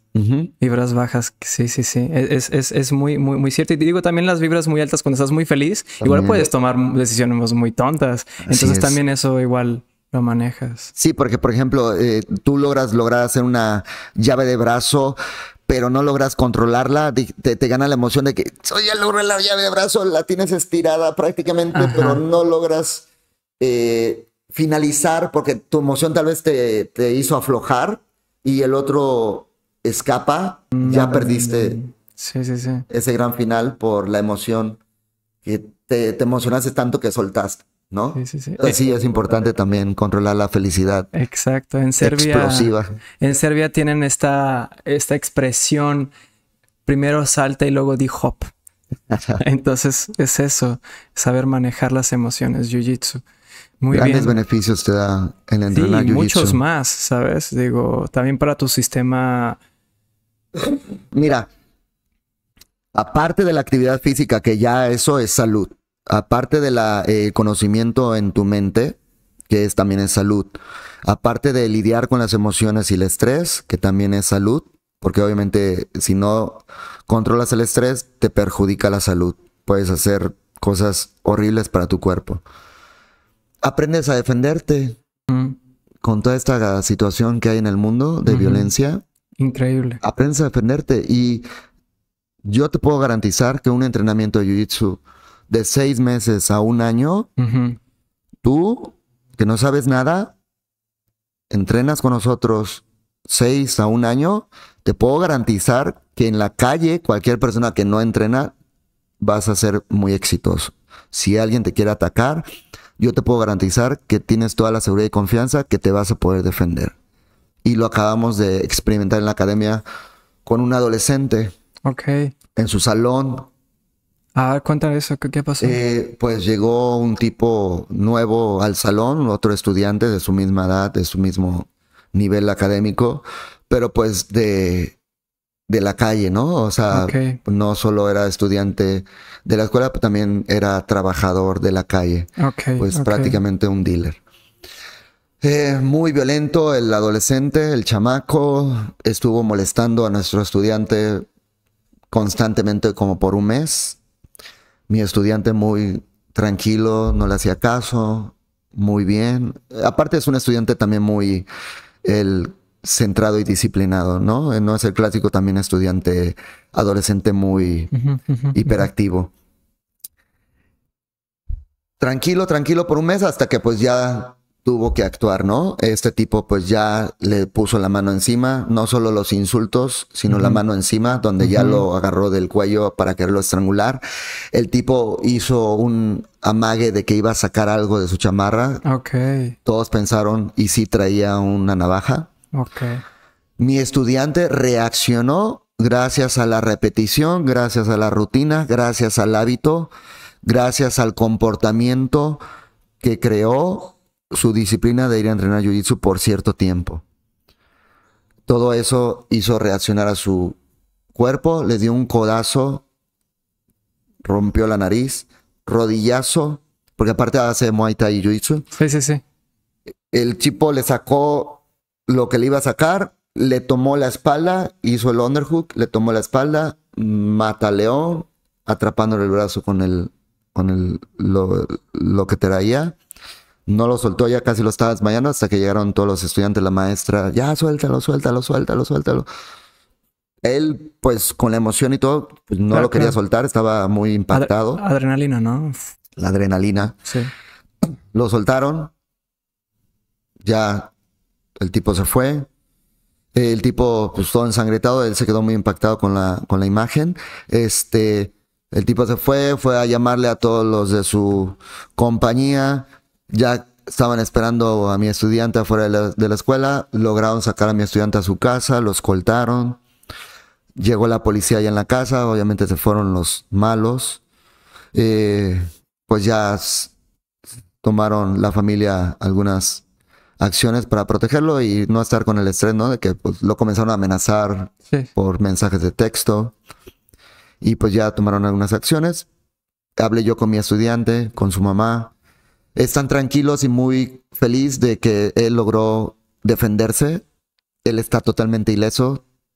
Obviamente nada más con el, la emoción, el impacto de, de lo que pasó, pero muy feliz y contento de que se pudo defender. Obviamente están un poquito con los nervios de que pues lo amenazaron y esas cosas feas, ¿no? De, de las amenazas. Pero otro de los beneficios es que te enseña a defenderte. Te da esa confianza, esa seguridad de que tú sabes defenderte. Lo proyectas, lo proyectas energéticamente. Sí. Los agresores, como los animales, buscan de presas débiles que eh, energéticamente o por lenguaje corporal se muestran como débiles, ¿no? Como una presa por su inseguridad. Cuando tú entrenas Jiu-Jitsu, tú sabes y tienes la seguridad y lo proyectas energéticamente y corporalmente, entonces ya no los agresores se acercan mucho a ti. Claro. Nosotros los grandes beneficios. Cuando yo comencé a entrenar en mi juventud, cuando, lo, cuando tuve 18 años, yo me salí de mi casa. Yo, dije, ya no quiero estar yo en mi casa. Comencé a vivir solo. Yo me sentía muy poderoso porque ya entrenaba Jiu-Jitsu, entrenaba MMA. Nos dábamos unos entrenamientos, no teníamos metodología de enseñanza, entonces era muy brutal. Claro, claro. Ya nos hacíamos heel hooks desde cinta blancas, que durante la metodología no se enseña. Ajá. Este, y yo decía en mí, ¿cómo no me sale alguien aquí para que me quiera atacar, para agarrarlo y defenderme y aplicar todo lo que aprendí ahorita? Yo me sentía así y lo, así me hacía un poquito agresivo yo, ¿no? Nadie, o sea, yo caminaba por Acapulco por barrios medios oscuros, solos, feos, peligrosos para ir de la casa de mis papás a mi casa. Nunca me pasó nada, nadie se me acercó, nadie me atacó, nada, tuve esa fortuna. porque lo proyectabas. Proyecta, se siente la vibra, claro, claro. Y sí, eso de las vibras no es un juego, es, verdad, es verdad. nuestro, sistema nervioso es altamente sensible, altamente sensible, sí, y es verdad, y se proyecta esa seguridad, esa, esa energía cuando alguien entrena. Entonces, pues me da... Esto es un gran ejemplo de que el jiu-jitsu no es un juego, es muy neta, porque luego la gente subestima, ay, no, no, no, ¿cómo te va a defender? Y si te saca, dude, o sea, tampoco te estamos diciendo que tienes que atacar, es defensa, ¿no? Entonces, como situaciones como estas, donde pues, si, si no tienes otra opción, lo tienes que aplicar. Y el chico ah, reaccionó automáticamente. Automáticamente. Y fue pues memoria muscular. Claro. Pues, y, en, y, en, adrenalina pura ese rush que, tenía, sí, me imagino. Digo, qué incómodo, pero es un gran, gran ejemplo lo que estás diciendo. Y, eh, eh, en el caso de Jiu-Jitsu, teniendo eso, ¿cómo las cintas se dividen en cinco colores. Blanca. De adultos sí, blanca, azul, morada, café y negra. Eh, para niños ya como hay, ya la evolución, toda esta promoción, gracias a la familia Gracie que hizo desde inicios a lo que es ahorita, eh, pues ya se tuvieron que implementar más cintas para los niños, para que ahorita ya hay niños a un nivel, como te lo comento, que ya se está demostrando, que comenzaron desde los 3, 4 años, 5 años, y hoy ya tienen 10, 16 años entrenando, ya ahorita tienen 20 años, pero comenzaron a entrenar desde los 4 años, es un, una evolución impresionante. Son unos asesinos caminando. Sí, ahorita cuando llegan a la cinta negra de 18 años, porque en Jiu-Jitsu brasileño no te pueden dar cinta negra hasta que seas mayor de edad, en este caso 18 mm, años. Claro, sí, sí, sí. Este, no, ya tienes un nivel, ya ahorita cintas azules, moradas, ya tienen un nivel impresionante de adolescentes, porque ya comienzan desde los 3, 4 años. Entonces, desde los niños ya hay eh, cintas, comienzan con la blanca, después gris. Sí. Dentro de la gris hay tres colores, que es gris blanca, gris sólido y gris negra. Ok. De ahí pasan amarillo, mismos colores, blanca, sólido y negro, eh, naranja, verde. A la verde, si comenzaron desde los cuatro años, que es más o menos la edad promedio para comenzar. Cuando llegas a la verde es porque ya tienes como 14 años. Ok, ok, ok. Pues okay. ya como a los 15, 16 años ya te- se te puede dar la azul, ok, vale. que ya es la de adulto. Para que después a los 16, 17 años ya se te dé la morada café. Y ya llegas. Y ya a los 18 ya estás como negra. Ok, ya entiendo. Sí, porque había visto esa evolución. No es justo. Imagínate que un adolescente niño que comenzó a entrenar todo este tiempo llega a los 18 años y apenas se le dé la cinta azul. Un, una pe- un niño que comenzó a entrenar todo este tiempo ya no es cinta azul a los 18 años. Sí, Entonces es por eso que se implementaron los otros colores para niños. claro. Pero son los, los, los colores Sí, sí, sí. de las cintas en Jiu-Jitsu. Eh, me, me he tocado con gente que ha llegado como que a tener roces con esa implementación, como, pero ¿por qué? Que no sé qué. Y yo la verdad, pues yo no lo veo mal, yo lo veo de hecho con sentido, con una razón. Es más, es para el bien, para el bien, para ser justos, ¿no? Como dices tú. Y eh, algo que he notado es que las personas que una vez entran a Jiu-Jitsu, todos dicen esto. "Mm, me da lástima que no, que no pude haber empezado antes. ¿No? Y este... Sí, yo comencé ya también tarde, o sea, yo conocí el Jiu-Jitsu en el 94, ya tenía yo 14, 15 años de edad. Sí, sí, sí. Ya cuando eh, me dediqué muy, muy directo, ya tenía yo 17, 18 años. Sí, sí, sí. Entonces tienes esas cintas y los grados, ¿cómo se van calificando? Entonces, por ejemplo, tienes cinta blanca. Son cuatro grados para cambiar de color de cinta. El, el grado se da aproximadamente entre 5 o 6 meses de entrenamiento. Ok, ok. Y hay que ser constantes en las, en las Claro. clases, obviamente. De, estamos hablando de dos, tres veces por semana. Claro, claro, claro. ¿Y qué pasa después del cinta negra? Es lo que yo aún tampoco no lo tengo claro porque he visto cintas muy bonitas. he visto como negra con rojo, luego ah, eh, rojo con Es blanco. cinta negra por los primeros 6 grados hasta cambiar a la cinta roja con negro. Mm, Los primeros 3 grados en la cinta negra son cada 3 años. órale.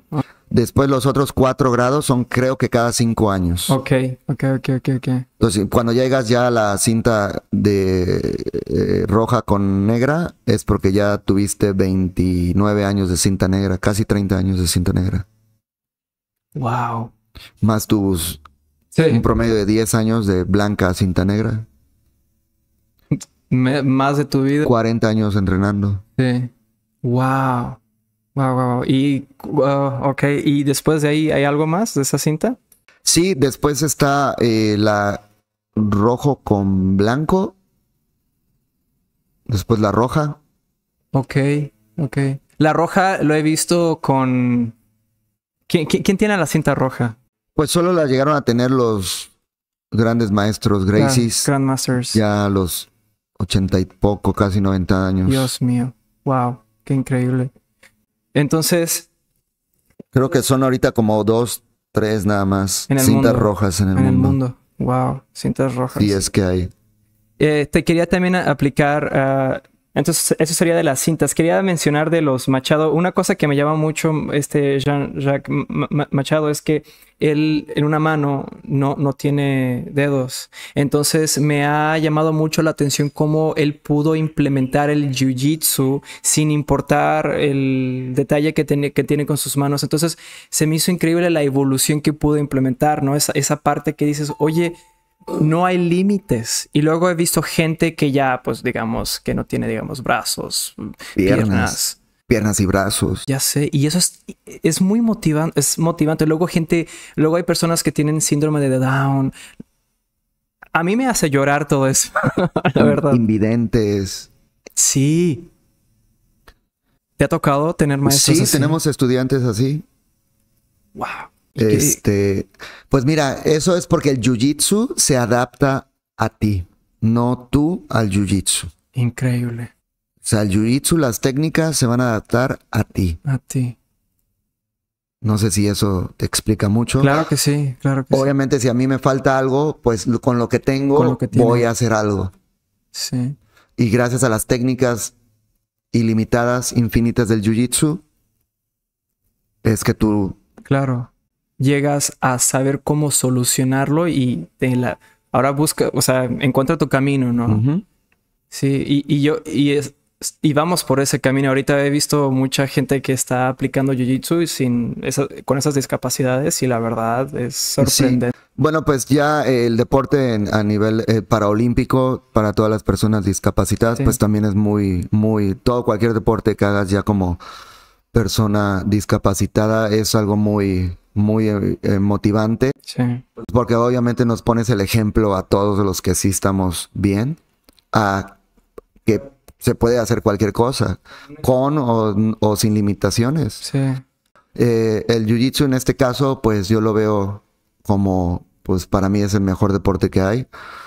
Eh, no solo por todos estos grandes beneficios que ya te he comentado, sino también ya es algo bien espiritual, ¿eh? Porque ya cuando entrenas a un nivel muy alto, eh, se dice que el jiu-jitsu es un arte marcial, no es solamente un, un arte marcial, No, se dice que es un estilo de vida, Mm. ya tampoco es solamente un estilo de vida se dice que es una religión, una secta. Pues yo creo que es un poquito más allá de todo eso, porque es también una parte muy espiritual. Se dice que el jiu-jitsu tradicionalmente, eh, obviamente fue adaptado por los samuráis en Japón, pero se dice que viene más an- anteriormente desde la India, desde el Tíbet con los, con los monjes. Increíble. Pero también se dice, como lo, lo cree también mi profesor, que el jiu-jitsu también viene y fue llegado a nosotros por los dioses Yo creo que sí. como todo Yo el conocimiento antiguo, como lo dicen nuestras, nuestros ancestros, nuestras culturas antiguas. Es un conocimiento un poquito que va más allá, ¿eh? Porque Sí. eh, cuando tú comienzas a entrenar, empiezas a desarrollar tu mente, tu cuerpo, empiezas a pensar como en Jiu-Jitsu, en la vida cotidiana. Eh, eh, como te comentaba, este entrenamiento, cuando lo logras hacer en un nivel exhaustivo, como son los sparrings, imagínate estar haciéndolo un sparring de 30 minutos, 40 minutos, una hora, el desgaste energético, físico que le das a tu cuerpo, que cuando terminas de hacerlo quedas en una paz, en una meditación, que te llegas a conectar con algo más. Una allá. vibra, una frecuencia. Una frecuencia más allá, así es. Estás en una frecuencia de paz, de armonía, de, de- de amor, de salud, de tranquilidad, que en serio te llegas a conectar Claro que sí. más allá. Es Sí. por eso que el- yo creo que es- va más allá de todo esto. Claro, claro. Sí, yo, yo, yo también llegué a esa conclusión. Y eso que no, no, no lo he platicado con nadie, es como que fue algo mío que yo concluí, y eso que soy cinta blanca con un grado, eh,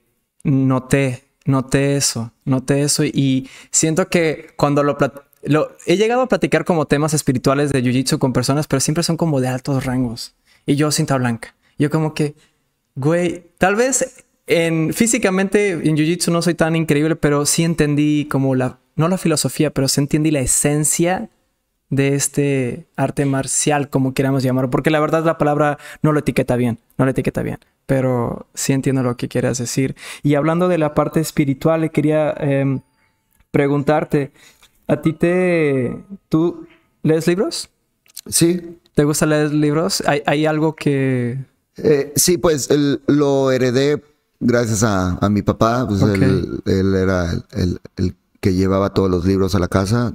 Eh, una gran biblioteca teníamos en la casa. Yo me traje algunos de sus libros. Ah, Ok. No, pues leer. A mí me gusta mucho leer filosofía. Mm, Este. eh, mi papá eh, leía libros de filosofía, de artes marciales, de esoterismo. Esoterismo. Sí, eh, pues teníamos de todos libros ahí. Entonces me gusta mucho. Me gustó. ¿Tienes, no sé, algún libro que quieras suge- eh, sugerir a la gente que puedan leer si es que están metidos en esto del jiu-jitsu? O bueno, puede ser cualquier arte marcial, pero como que algo para que los motive a ser disciplinados o no sé, algo que quieras compartir. O Pues no si se trata de artes marciales, eh, eh, los libros de los Gracie les enseñaría mucho. The Gracie Way es un... The Gracie Way se llama el libro. Ajá, Lo voy a leer. es muy, muy padre. Este, que habla de la vida, filosofía de los Gracie. El Jung Fan del Mm. Jet Kundo, el Tao del, del Jet Kundo de Bruce Lee, obviamente. Eh, los libros de filosofía que más quedaron en mí marcados es uno que se llama El Mundo de Sofía. Uf. Eh, no recuerdo exactamente el, El nombre. autor. Sí. este, pero muy, muy bueno. Habla mucho de la filosofía antigua. Este, es toda una historia de paso por paso, el tiempo de la historia de la filosofía. Eh, me gusta mucho, pues, los grandes filósofos como Platón, Sócrates. Este, Eh, eh, ahorita estoy leyendo y escuchando mucho al este desaparecido Jacobo Greenberg. ok.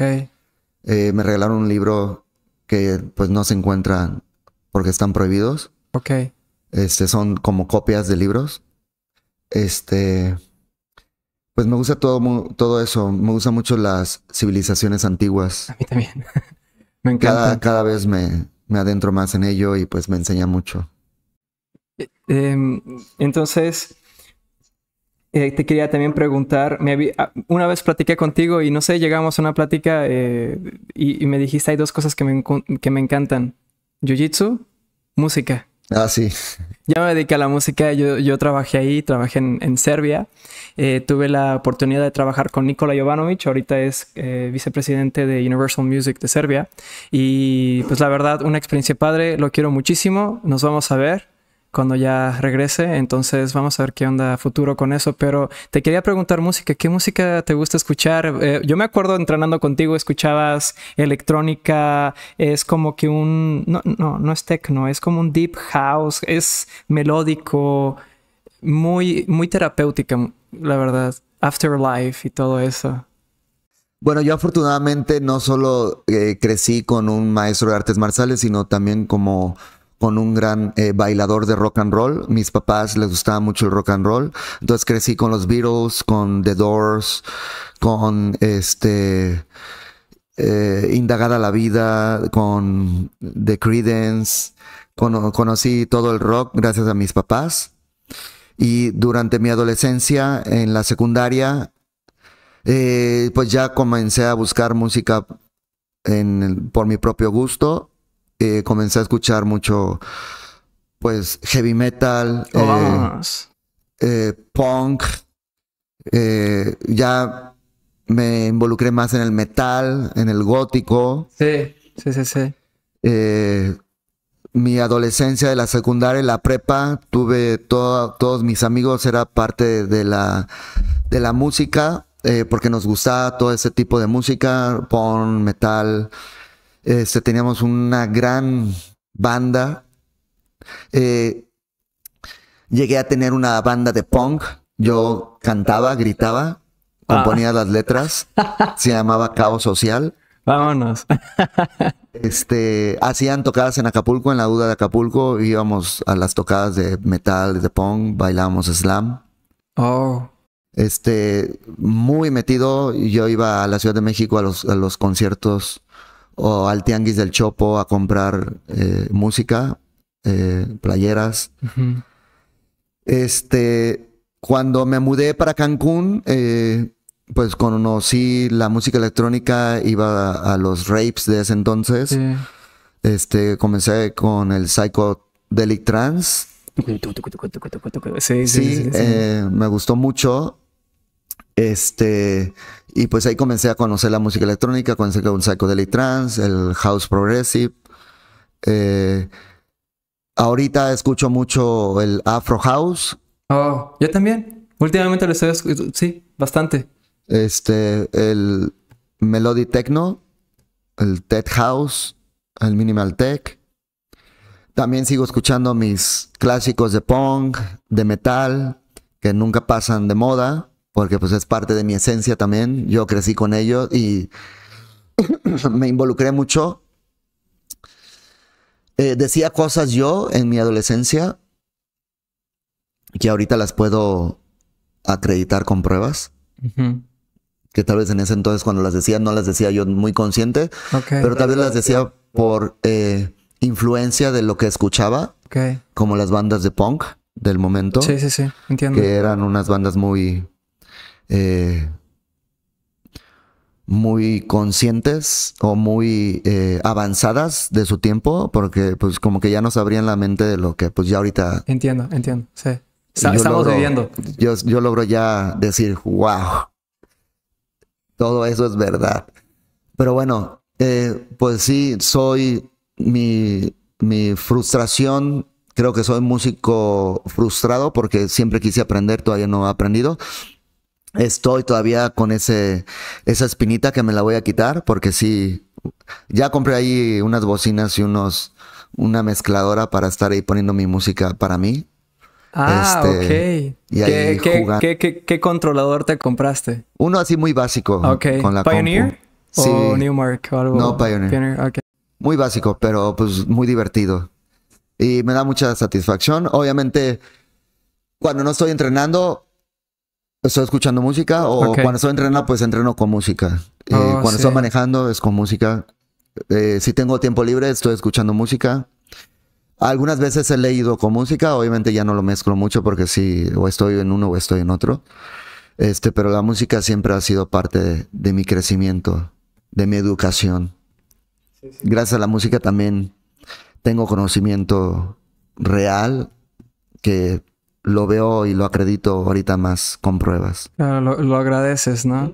Te voy a decir una cosa. Yo cuando trabajé con Nicola, así se llama, él, él es representante de varias fundaciones y una de esas fundaciones se llama Milan Mladenovic, que es una de las personas que rock, en este caso punk, era famoso. Lamentablemente es una banda que se metía a drogas, pero las, las palabras que ellos decían era exactamente conciencia. Y él, él representa a la fundación, es encargado de todo eso, es el presidente de esa fundación.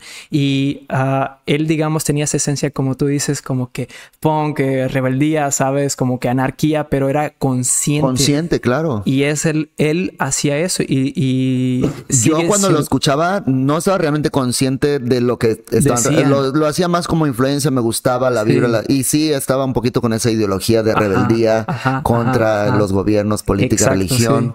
Pero ahorita yo ya lo entiendo Sí. más conscientemente. Dices, es, algo fuerte, es algo real que nos han estado inculcando desde siglos y siglos, ¿eh? porque seguimos viviendo en la época romana, desde el, sí. Seguimos con ese sistema romano muy, muy radical. Actualmente seguimos viviendo en esa época romana medieval. Literal. Este, a- lo que trataba de decir, por ejemplo, que yo escuchaba tal vez más influenciado que consciente de lo que escuchaba. Ahorita, por ejemplo, con las civilizaciones antiguas, con los sumerios, que tengo conociéndolos un par de años, ya muy metido. Sí. Y ahorita veo, eh, por ejemplo, a Tiamat Marduk, que yo ya escuchaba a Tiamat Marduk porque eran bandas de black metal que escuchaba yo en la secundaria prepa, pero no sabía yo realmente quién eran los sumerios. Yo creía que era algo más satánico, más del demonio. Y pues no, es algo de civilizaciones antiguas que es- existen, existieron y que hay pruebas y hay evidencias, Claro. pero pues obviamente no nos los muestran como lo que realmente es para manipular la información y tenerlos más controlados, ¿no? A eso me refiero, digo, wow, esto yo lo sabía y escuchaba desde hace tiempo y ahorita lo estoy entendiendo más conscientemente. Que eso también nos pasa con el jiu-jitsu, ¿eh? Durante los entrenamientos. Tiempo después dices, wow, ahora entiendo por qué el maestro me decía, hay que mover la cadera para acá o pon la mano para acá. Ahora ya me hace clic lo que yo me decían hace tiempo, ¿sabes? Es algo muy- Entiendo lo que muy dices. padre. Sí, sí, sí. Es como que te está guiando inconscientemente, pero ahí estás como que te resuena y estás ahí, pero no sabes por qué. Y así es el camino del, del, del luchador, del guerrero. Está, eh, los dioses te van guiando donde tienes que ir. Sí, mira, eso también lo aprendí del jiu-jitsu. Hay que saber aprender y respetar las jerarquías. Claro. En mi jiu-jitsu no hay, ¿cómo mentiré? Hay integridad, porque obviamente un cinta blanca, un cinta negra, en mi jiu-jitsu hay mucha gran diferencia, o cinta azul o morada. Este. hay que tener confianza en los especialistas, en los profesores, en los maestros. Cuando tú eres alguien joven, alguien nuevo, hay que escucharlos, aprender, imitarlos, imitarlos como él me lo está diciendo, como él me lo está mostrando, así lo voy a hacer. Y obviamente durante la práctica, durante mis repeticiones, yo lo voy a perfeccionar, lo voy a evolucionar o, lo voy a adaptar a mí, a mi cuerpo, a mi forma de yo de ser. Y yo voy a crecer con ese conocimiento, pero a mi propia forma de ser, a mi jiu-jitsu, a mi cuerpo, a mi físico, a mi mente. Entonces, eso es una forma también que yo aprendí a también llevarlo en la vida cotidiana. Hay que respetar las jerarquías, no yo hacerme sentir, ah, yo soy mejor que él sino aprender de los especialistas, de los maestros, imitarlos, agarrar lo mejor de ellos para poder llegar a su nivel y después ya hacer tu propio jiu-jitsu, tu propio jet kundo, tu propio ser, tu propia filosofía. Claro, claro, claro. Sí, yo le tengo que pedir disculpas a Paulo. A Paulo, el maestro que estaba ahí en Gracie Barra. Ah. Eh, Pablo de Octopus, eh, creo que así está en... Es que le digo, tengo que pedir disculpas porque una vez me pasó exactamente eso. Me estaba tratando de explicar... Es que yo apenas estaba empezando y para cuando empiezas todo es muy ¿qué? No entiendes. Entonces yo me acuerdo que, me, le robé como unos tres minutos de su tiempo y ya se empezó a desesperar y dice, ah, niño, solo agarra, eh, como que agarra el brazo, cállate y hazlo, solo hazlo, cállate. Y yo de... güey, no te enojes.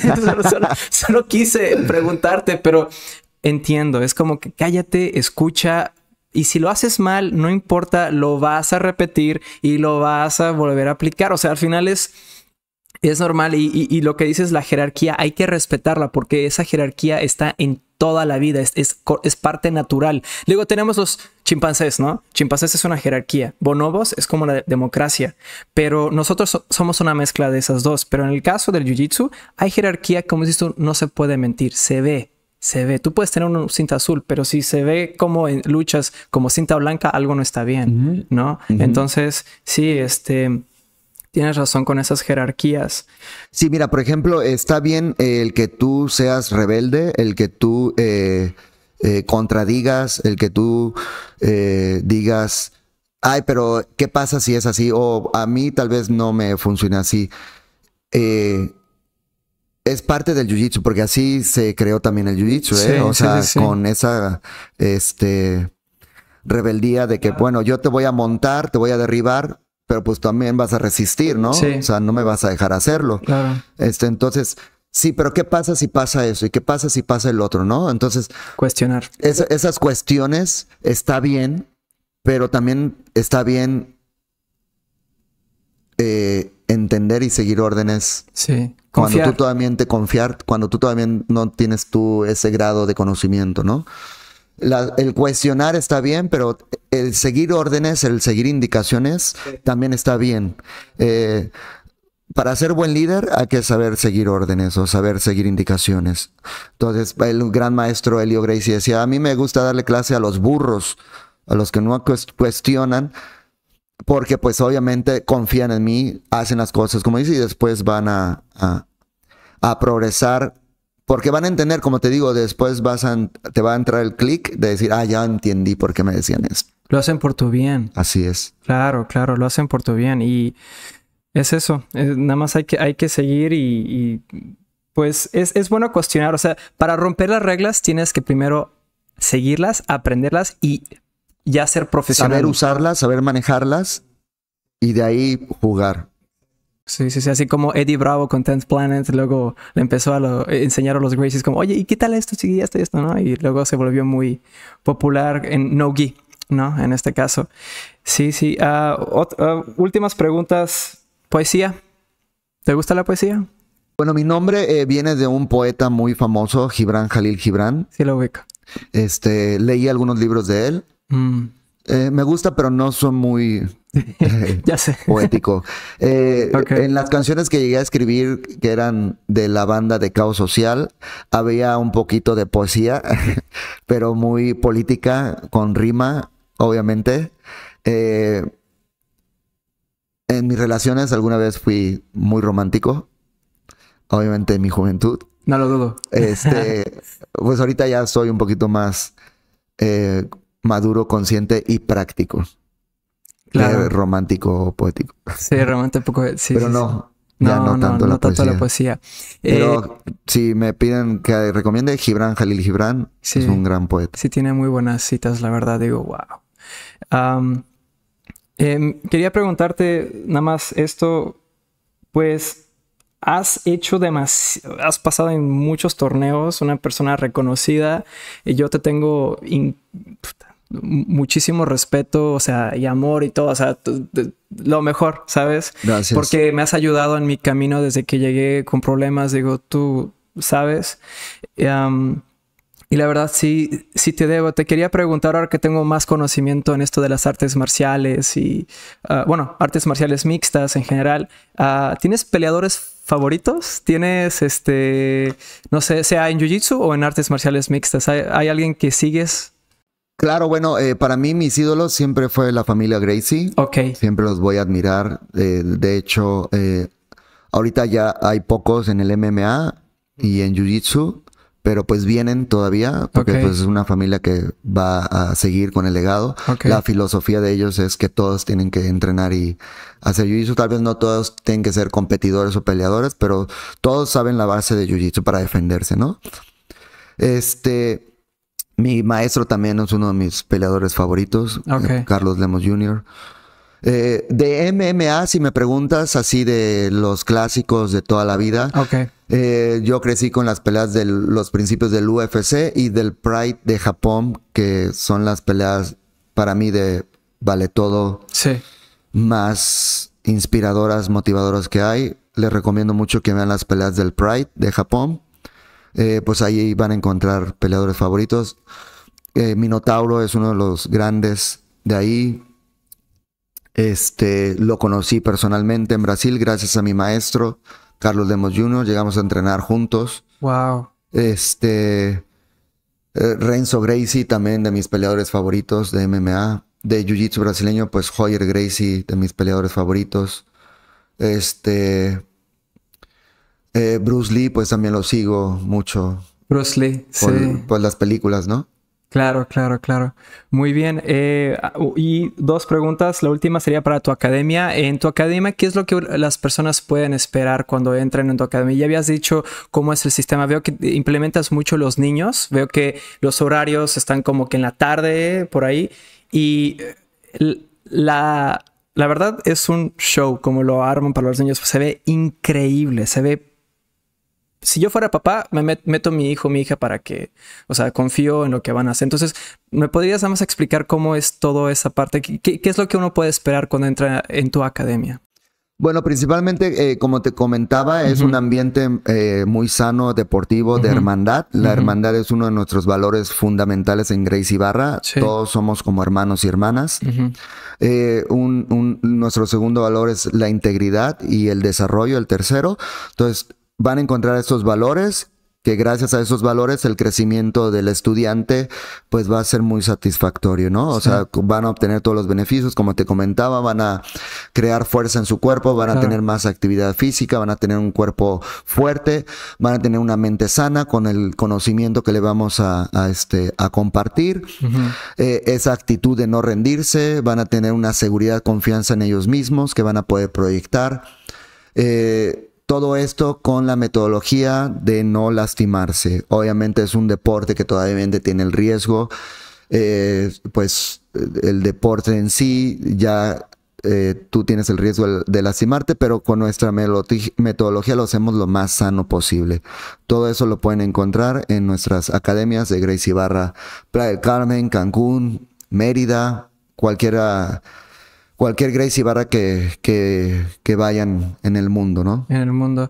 ¿Y dónde la gente te puede seguir?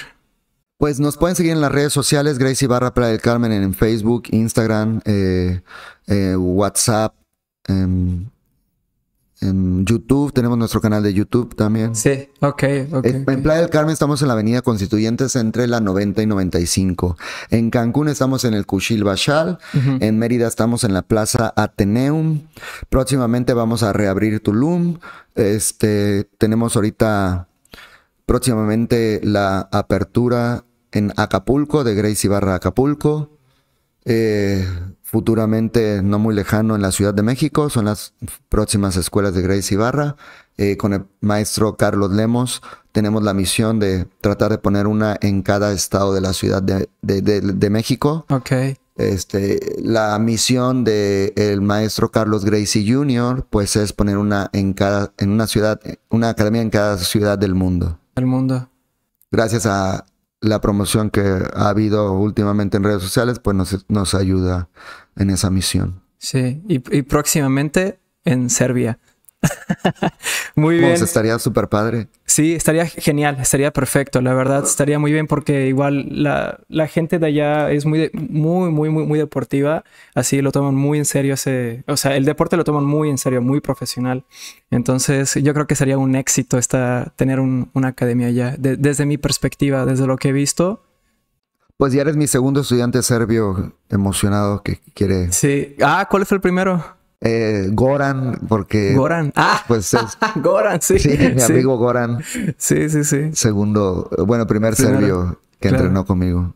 Sí. Mis grandes amigos, Goran y Sini.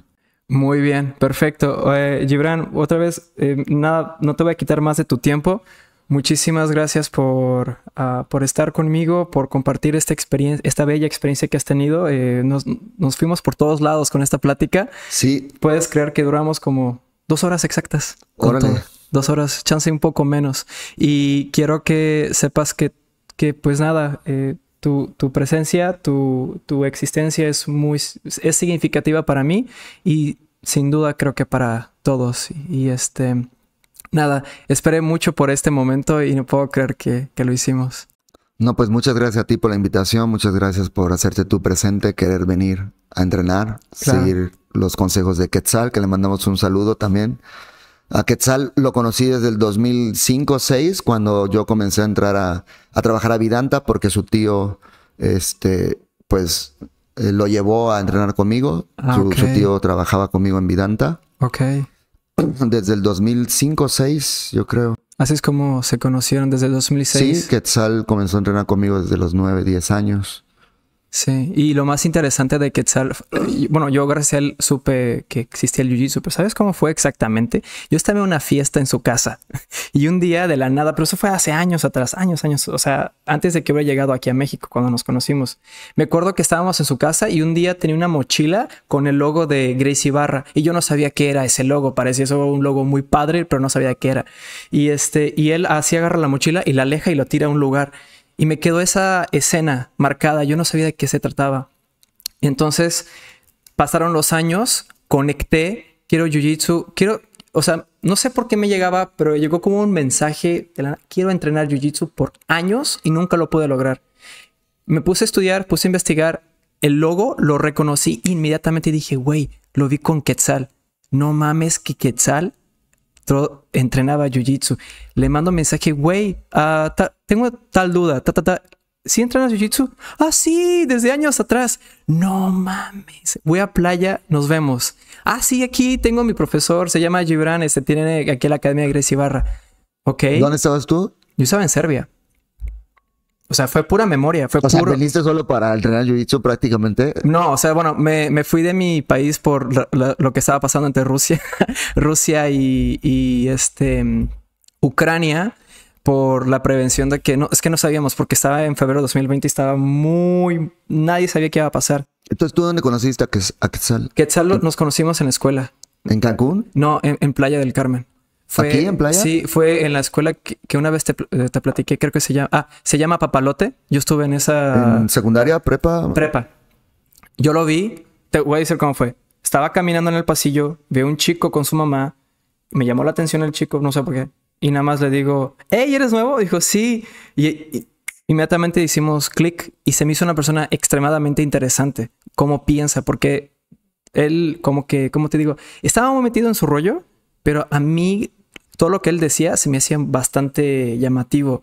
Como siento que eres muy sabio, siento que sabes mucho de la vida, no sé por qué. Y luego cuando pasan los años, estuve una fiesta en su casa, yo armaba fiestas antes, armaba yo fiestas, creo que era muy conocido en playa por armar fiestas y una de esas fiestas fue en su casa y ahí es donde yo vi ese logo de la mochila con todo su kimono. Llego acá, o sea, fue todo pura O sea, ¿te fuiste a Serbia después de estar en la prepa aquí en playa? Me fui a Serbia, eh, terminé mi carrera. ¿Los tres años hiciste aquí en, de prepa? O? Sí, los terminé acá. Luego me fui para la Ciudad de México para terminar, bueno, para empezar mi universidad, pero no me gustó. Regresé a playa, trabajé unos años y luego me robaron mi moto con mi pasaporte incluido. Entonces me tuve que regresar a mi país para reponerlo. O sea, ¿qué, qué año, qué año fue? ¿Hace 10 años? No, no, no, no. eh, ah, ¿La prepa qué, qué año le hiciste acá? Ay, Dios. ¿2015? No, es que no sé. Yo, yo, yo me acuerdo que tenía 18 años en la universidad, así que yo conocí a Quetzal como a los 17, 16, por ahí, ¿no? Por ahí. Y ahorita tienes 26. Ahora tengo 26 O sea, hace 10 años. 10 años, tienes razón, no mames. Sí, pasó rápido el tiempo. Entonces me roban el pasaporte, bueno, mi moto, mi pasaporte, me- y no hay manera de que la embajada me lo reponga aquí en México. Entonces tuve que regresarme a mi país. O sea, del 2016, hace 10 años, 17, 18, 2018, conociste a Quetzal, viste el logo de Gracie Ibarra en ese tiempo, Yo en ese momento no conocía a Gracie Ibarra. pero viste el logo de, de Gracie Ibarra con Quetzal en ese momento Ajá. y te fuiste a otros lados. Me fui a Serbia. 2020 llega Llegué a 2020 con esa memoria. Y ya quisiste entrenar Jiu-Jitsu. Sí, le dije, güey, quiero entrenar contigo. Así le dije, güey, quiero entrenar, quiero ser asesino. Así le dije, le dije, güey, quiero asesino- ser un asesino como tú. Ah, sí, güey. No, y se emocionó. Dijo, claro, aquí está la academia, métete con nosotros. Yo no sabía ni qué era Jiu-Jitsu, Gibran. Simplemente dije, mi intuición me está llamando. O sea, era como ¿De un dónde sacaste la palabra o dónde la viste la palabra o, o qué no, viste? No, no sé, simple, te- te- no, no es que haya visto, no, ni sabía el, el arte, nada más sentía jiu-jitsu, sentía una palabra años en playa, jiu-jitsu. Yo, yo buscaba jiu-jitsu y me dice, no, tenemos judo. Ok, y judo pues no, no, no me llamó tanta la atención. Yo dije, no, no, yo quiero jiu-jitsu. Yo no sabía qué era chingado era jiu-jitsu. Te juro que así fue, así fue mi, mi, no sé, fue algo espontáneo que yo no sabía si mi mente inconscientemente mezcló palabras y dijo jiu-jitsu y como que resonó y dices tienes que buscarlo y tardé mucho, o sea, tardé mucho, ni siquiera tampoco, tampoco puse la tarea de buscar el, el entrenamiento y llegué acá y vaya, ¡pum! O sea, maestros, entrenamiento, yo dije, güey, esto es lo que yo no sabía que es lo que necesitaba y cuando entré, mi mundo cambió para bien, claro. O sea, sí, la guerra que empezó allá, llegué eh, y empezó el entrenamiento padre, entrenamiento espiritual de conectarte con el Matia interior, el Matia real, el guerrero que mi mamá me dice, es que tú eres un guerrero de luz, ¿no? El guerrero interior, el, el sabio interior de ti. Y ya cuando llegué dije, güey, no mames, y estoy eternamente agradecido con Quetzal, que también su nombre está bien padre. Y así es como yo lo conocí, así es como llegué a Gracie Barra y así es como nos conocimos tú y yo. Bueno, Quetzal también eh, vivió en Chicago con mi profesor Carlos Lemos Jr. ¡Wow! y fue cuando le cambió la vida a él. Cuando él se fue allá y regresó, yo vi un cambio en él como, está- como si estuviera viendo a mi profesor. Dije, wow, el nivel de Quetzal cambió impresionantemente. Lamentablemente ya no siguió entrenando tanto. Si no, él hubiera sido mi cinta negra más joven. Sí. Este, Pero pues obviamente descuidó un poquito más su entrenamiento. Pero cuando él se fue a vivir, estuvo creo que un año con Carlos. Estuvo el más tiempo que yo creo. Este, y no, le cambió como me cambió la vida a mí. El nivel se vio, luego, luego yo lo detecté, dije, wow. Ahí fue cuando dije, ya no eres un niño. Y ya le metí, ya no le podía yo luchar como un niño, ya tenía que lucharle como adulto. Más, más, más serio el rollo, sí. Te digo, a ese- digo, a Quetzal lo quiero muchísimo. O sea, yo nada más lo conocí como persona. Te juro que así fue, así fue. Entonces fue por la esencia de él y gracias a él me, me metí y todo el resto de lo que yo he vivido, pues se lo agradezco a ustedes, ¿no? Entonces, No, pues gracias. qué, qué padre historia, ¿no? De cómo, cómo llegar acá. Sí. Las conexiones del jiu-jitsu. Raro. El, el- el jo- el entrenamiento de los dioses. Muy bien, pues yo creo que sería todo.